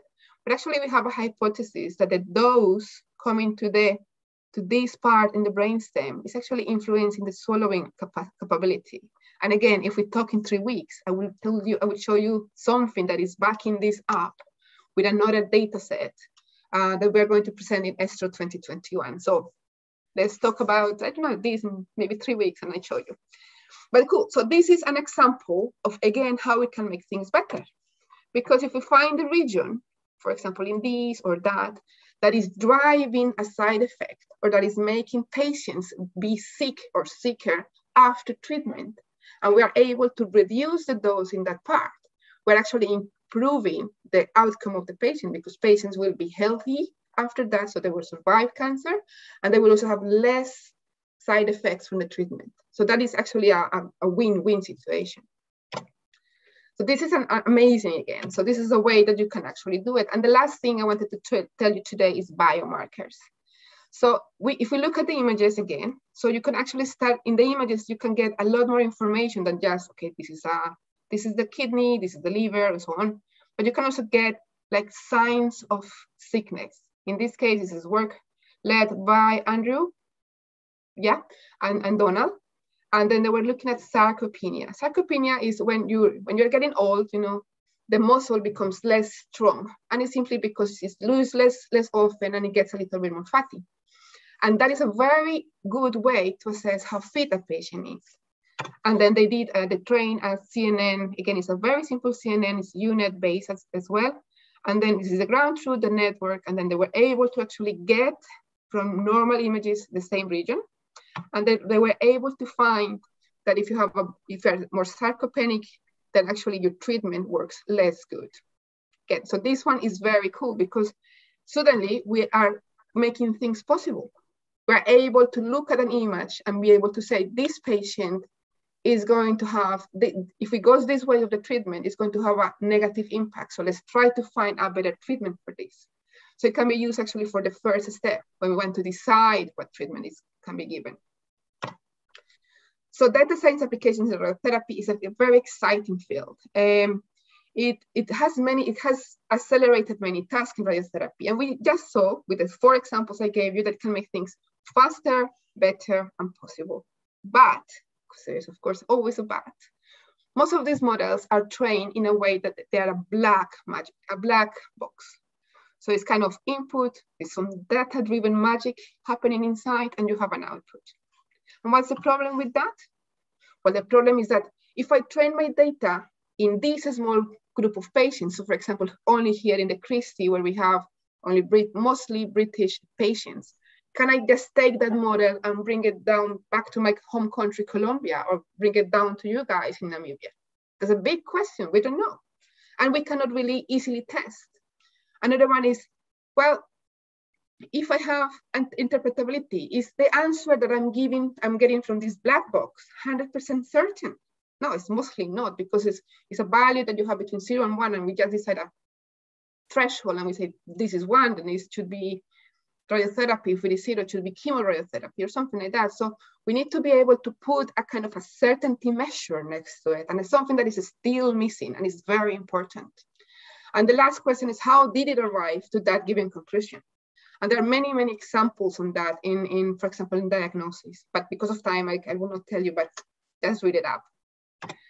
So we have a little uh, editorial that we wrote down in just out uh, in March 2022, and we actually explore or we summarize some techniques for our image insight on which you can actually evaluate models that have been already been trained before. So we don't have fingers inside how to go and look inside the box, but we can start changing the input to try and see what happens to the output. And that's one of the things we, we propose. And if you're interested, it's a, it's a nice read, I think. It starts with chihuahuas and, and blueberry muffins. Good point. And the next thing is that we need to learn from other disciplines. This is an amazing work led by Marianne in the group on which they, they are actually going, they're talking to people in the aviation industry in collaboration with Rolls-Royce. And they're making a kind of a framework to make the best from artificial intelligence and data-driven applications in radiotherapy. So to include social aspects, accuracy and trust and governance. So where the data is, what is it, bios, who, who owns these things. And again, if you're interested, this is a nice, a nice article. And in here is a very long link, sorry for that but that you have the adapted framework, which is, is, is a very, very good read. And it's very good to keep that in mind. So just to conclude with one, one minute to go. Um, so uh, artificial intelligence applications driven by data, or pretty much data science is based on, can accelerate many, many tasks in radiotherapy. It's already doing it in some of the clinics, not everywhere, but in some places that are a bit more advanced, uh, avant-garde, so they are a bit more open-minded, then they're doing it. And have, we have seen that it can make things faster, better, and possible, which is great. It's an, a great, great potential to come. But we always keep in mind, especially in healthcare applications, that interpretability and generalizability are very important. Can I take my model from here and drop it somewhere else, somewhere else and expect the same performance? Can I take um, can I actually, how can I validate that that is happening? So that is when you are designing these kind of applications, you should keep that in mind. How can I validate my results? Then you can think about doing things in, in steps. For example, you can segment and then the segmentation can easily be a, a, a validated. And then from that point, you get a number or whatever, and that goes into a model. So that's a, a way to go for it. Or you can also, what we did, what we propose in the editorial, if you have a model, you can just perturb the input and see what happens to the, to the output. And that is going to tell you how robust the model is. But it's still many, there are many roundabouts and it's not something nicely and, and prepared. So that is important you guys keep in mind when in the future when you are designing your, your data-driven applications. Um, and yeah, that is important. And the last thing is that there are many, many fields who are a lot more advanced or more mature in, in this kind of task. And then we need to just go there, reach out and learn from them. And I think with this, I want to say thank you. Thank you very much for your attention. Um, I, I would love to see you if you have any questions or not. And that's it. Lameck? Right. Okay, uh, good afternoon, everyone again. Good afternoon, Dr. Ariana. Uh, thank you for Dr. Lameck. My name is Herman Benjimi. Um, so I'm going to give the floor some time, and could assist again, uh, for questions. Uh, if anyone in the building has any questions, please raise your hand and then Dr. can attend to that.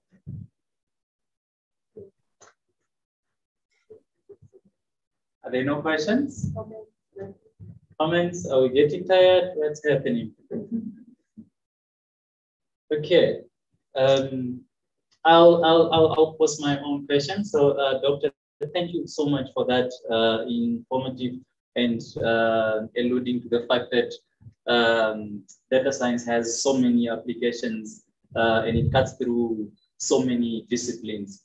Um, my question talks to the accuracy um, of, of most of these models um, and then um, looking at, um, say, different regions uh, uh, across the, the, the, world, how accurate are certain models and how can we refine them uh, to, to, to consider the generalization that you're talking about so that uh, when you uh, say adapt it um, from Europe and bring it to Africa or in Namibia, they say, and then we can quickly evolve and make it work just as it were. Yeah, that's a very good point.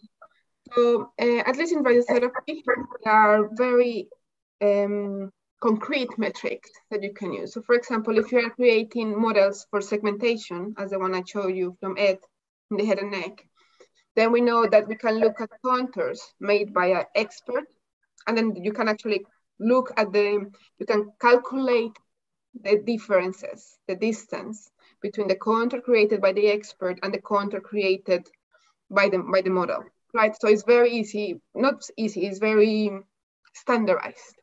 So if you if you know that the distance, the mean distance between the two contours is below two millimeters, why two millimeters? I don't know, but two millimeters seems to be the magical number. So if it is between eh, if it is between two to three millimeters, you are fine. You are happy, in the sense that the contours that you are creating are in the same range of error as the contours that a person will do. Yeah, so you remember this, this slide I showed you with many different contours? So that has been done in many, many different sites, and it is very, is very common and is, is known that there are errors. So then it is the range that is important. So we need, that's how it starts. So we, you first start and you need to validate, you need to calculate, estimate, quantify that the values that you are getting are in the same level as the ones you were getting before, before the, the data sign, that data-driven application is in, in, introduced, right? And once you have that, so you have the, the same baseline, you can start thinking about incre increasing it. So that's that's how we'll go in segmentation, which is the easy one. For example, in planning is a little bit more difficult because there are differences in clinics. Some people, some clinics are more hot than other clinics. But at the end of the day, if you think about radiotherapy, the very, very, the most important point is at the end of the treatment, whether the, the cancer has been eliminated. So the treatment outcome, patient is, is healthy and it doesn't have big side effects. So this is the, the, the end real value, but, but that is again really high above. So yeah, so again, going back to your question, you will need to go into finding some very clear metrics of what, and then finding a baseline. What is the what is that metric looking like right now? And then you compare that to what the model is doing. And that's the best way to actually validate that the model is doing what it's supposed to be doing with your new population. What we do, for example, in the case of ED, is that we have three big data sets we train in one, we validate in the second, uh, no, sorry, we train in two, so the small and the big one, and then we validated in a, in a third data set that the, the models have never seen, and they were from from the Netherlands, I think. So we have different data sets from different, so the, the small data set is American and European, the second one as well, and the third one was only Dutch. So that's a way to capture the variation. Did, did somehow answer the question? Sorry, I cannot see your face. I don't know if I'm going in a rabbit hole when I'm answering. Yes, yes, I think you did uh, like and touch on that. Um, if we don't have any questions, I think we can proceed on to the next part of our program. Um, so uh, this is the end of our official and online session. So um, excuse me for that. From here, we'll proceed on to the lunch break. Um, and thereafter, we will then uh, break into the teams. Uh, doctor, before maybe you can leave us, um, I think I would like the uh, group to give her a big round of applause and Thank you very much. Thank you. It really is yeah. an honor to be online, but it's an honor to be part of your of your of your event. Uh, I hope I hope the best and enjoy and have fun in the hackathon. Okay. Thank bye bye. So All right. Right. Bye, doctor. So, guys, uh, we're going to break and go for our lunch, and then thereafter we will uh, pick up with our tutorial. I believe the tutorials are meant to start at one. Um, our lunch is uh, from now till that time. If we go over, we'll probably just look at how we can change the logistics and then, um, yeah, pick up from there. So all the best with hackathon, and I hope to see, yeah, the solutions. Okay. Right.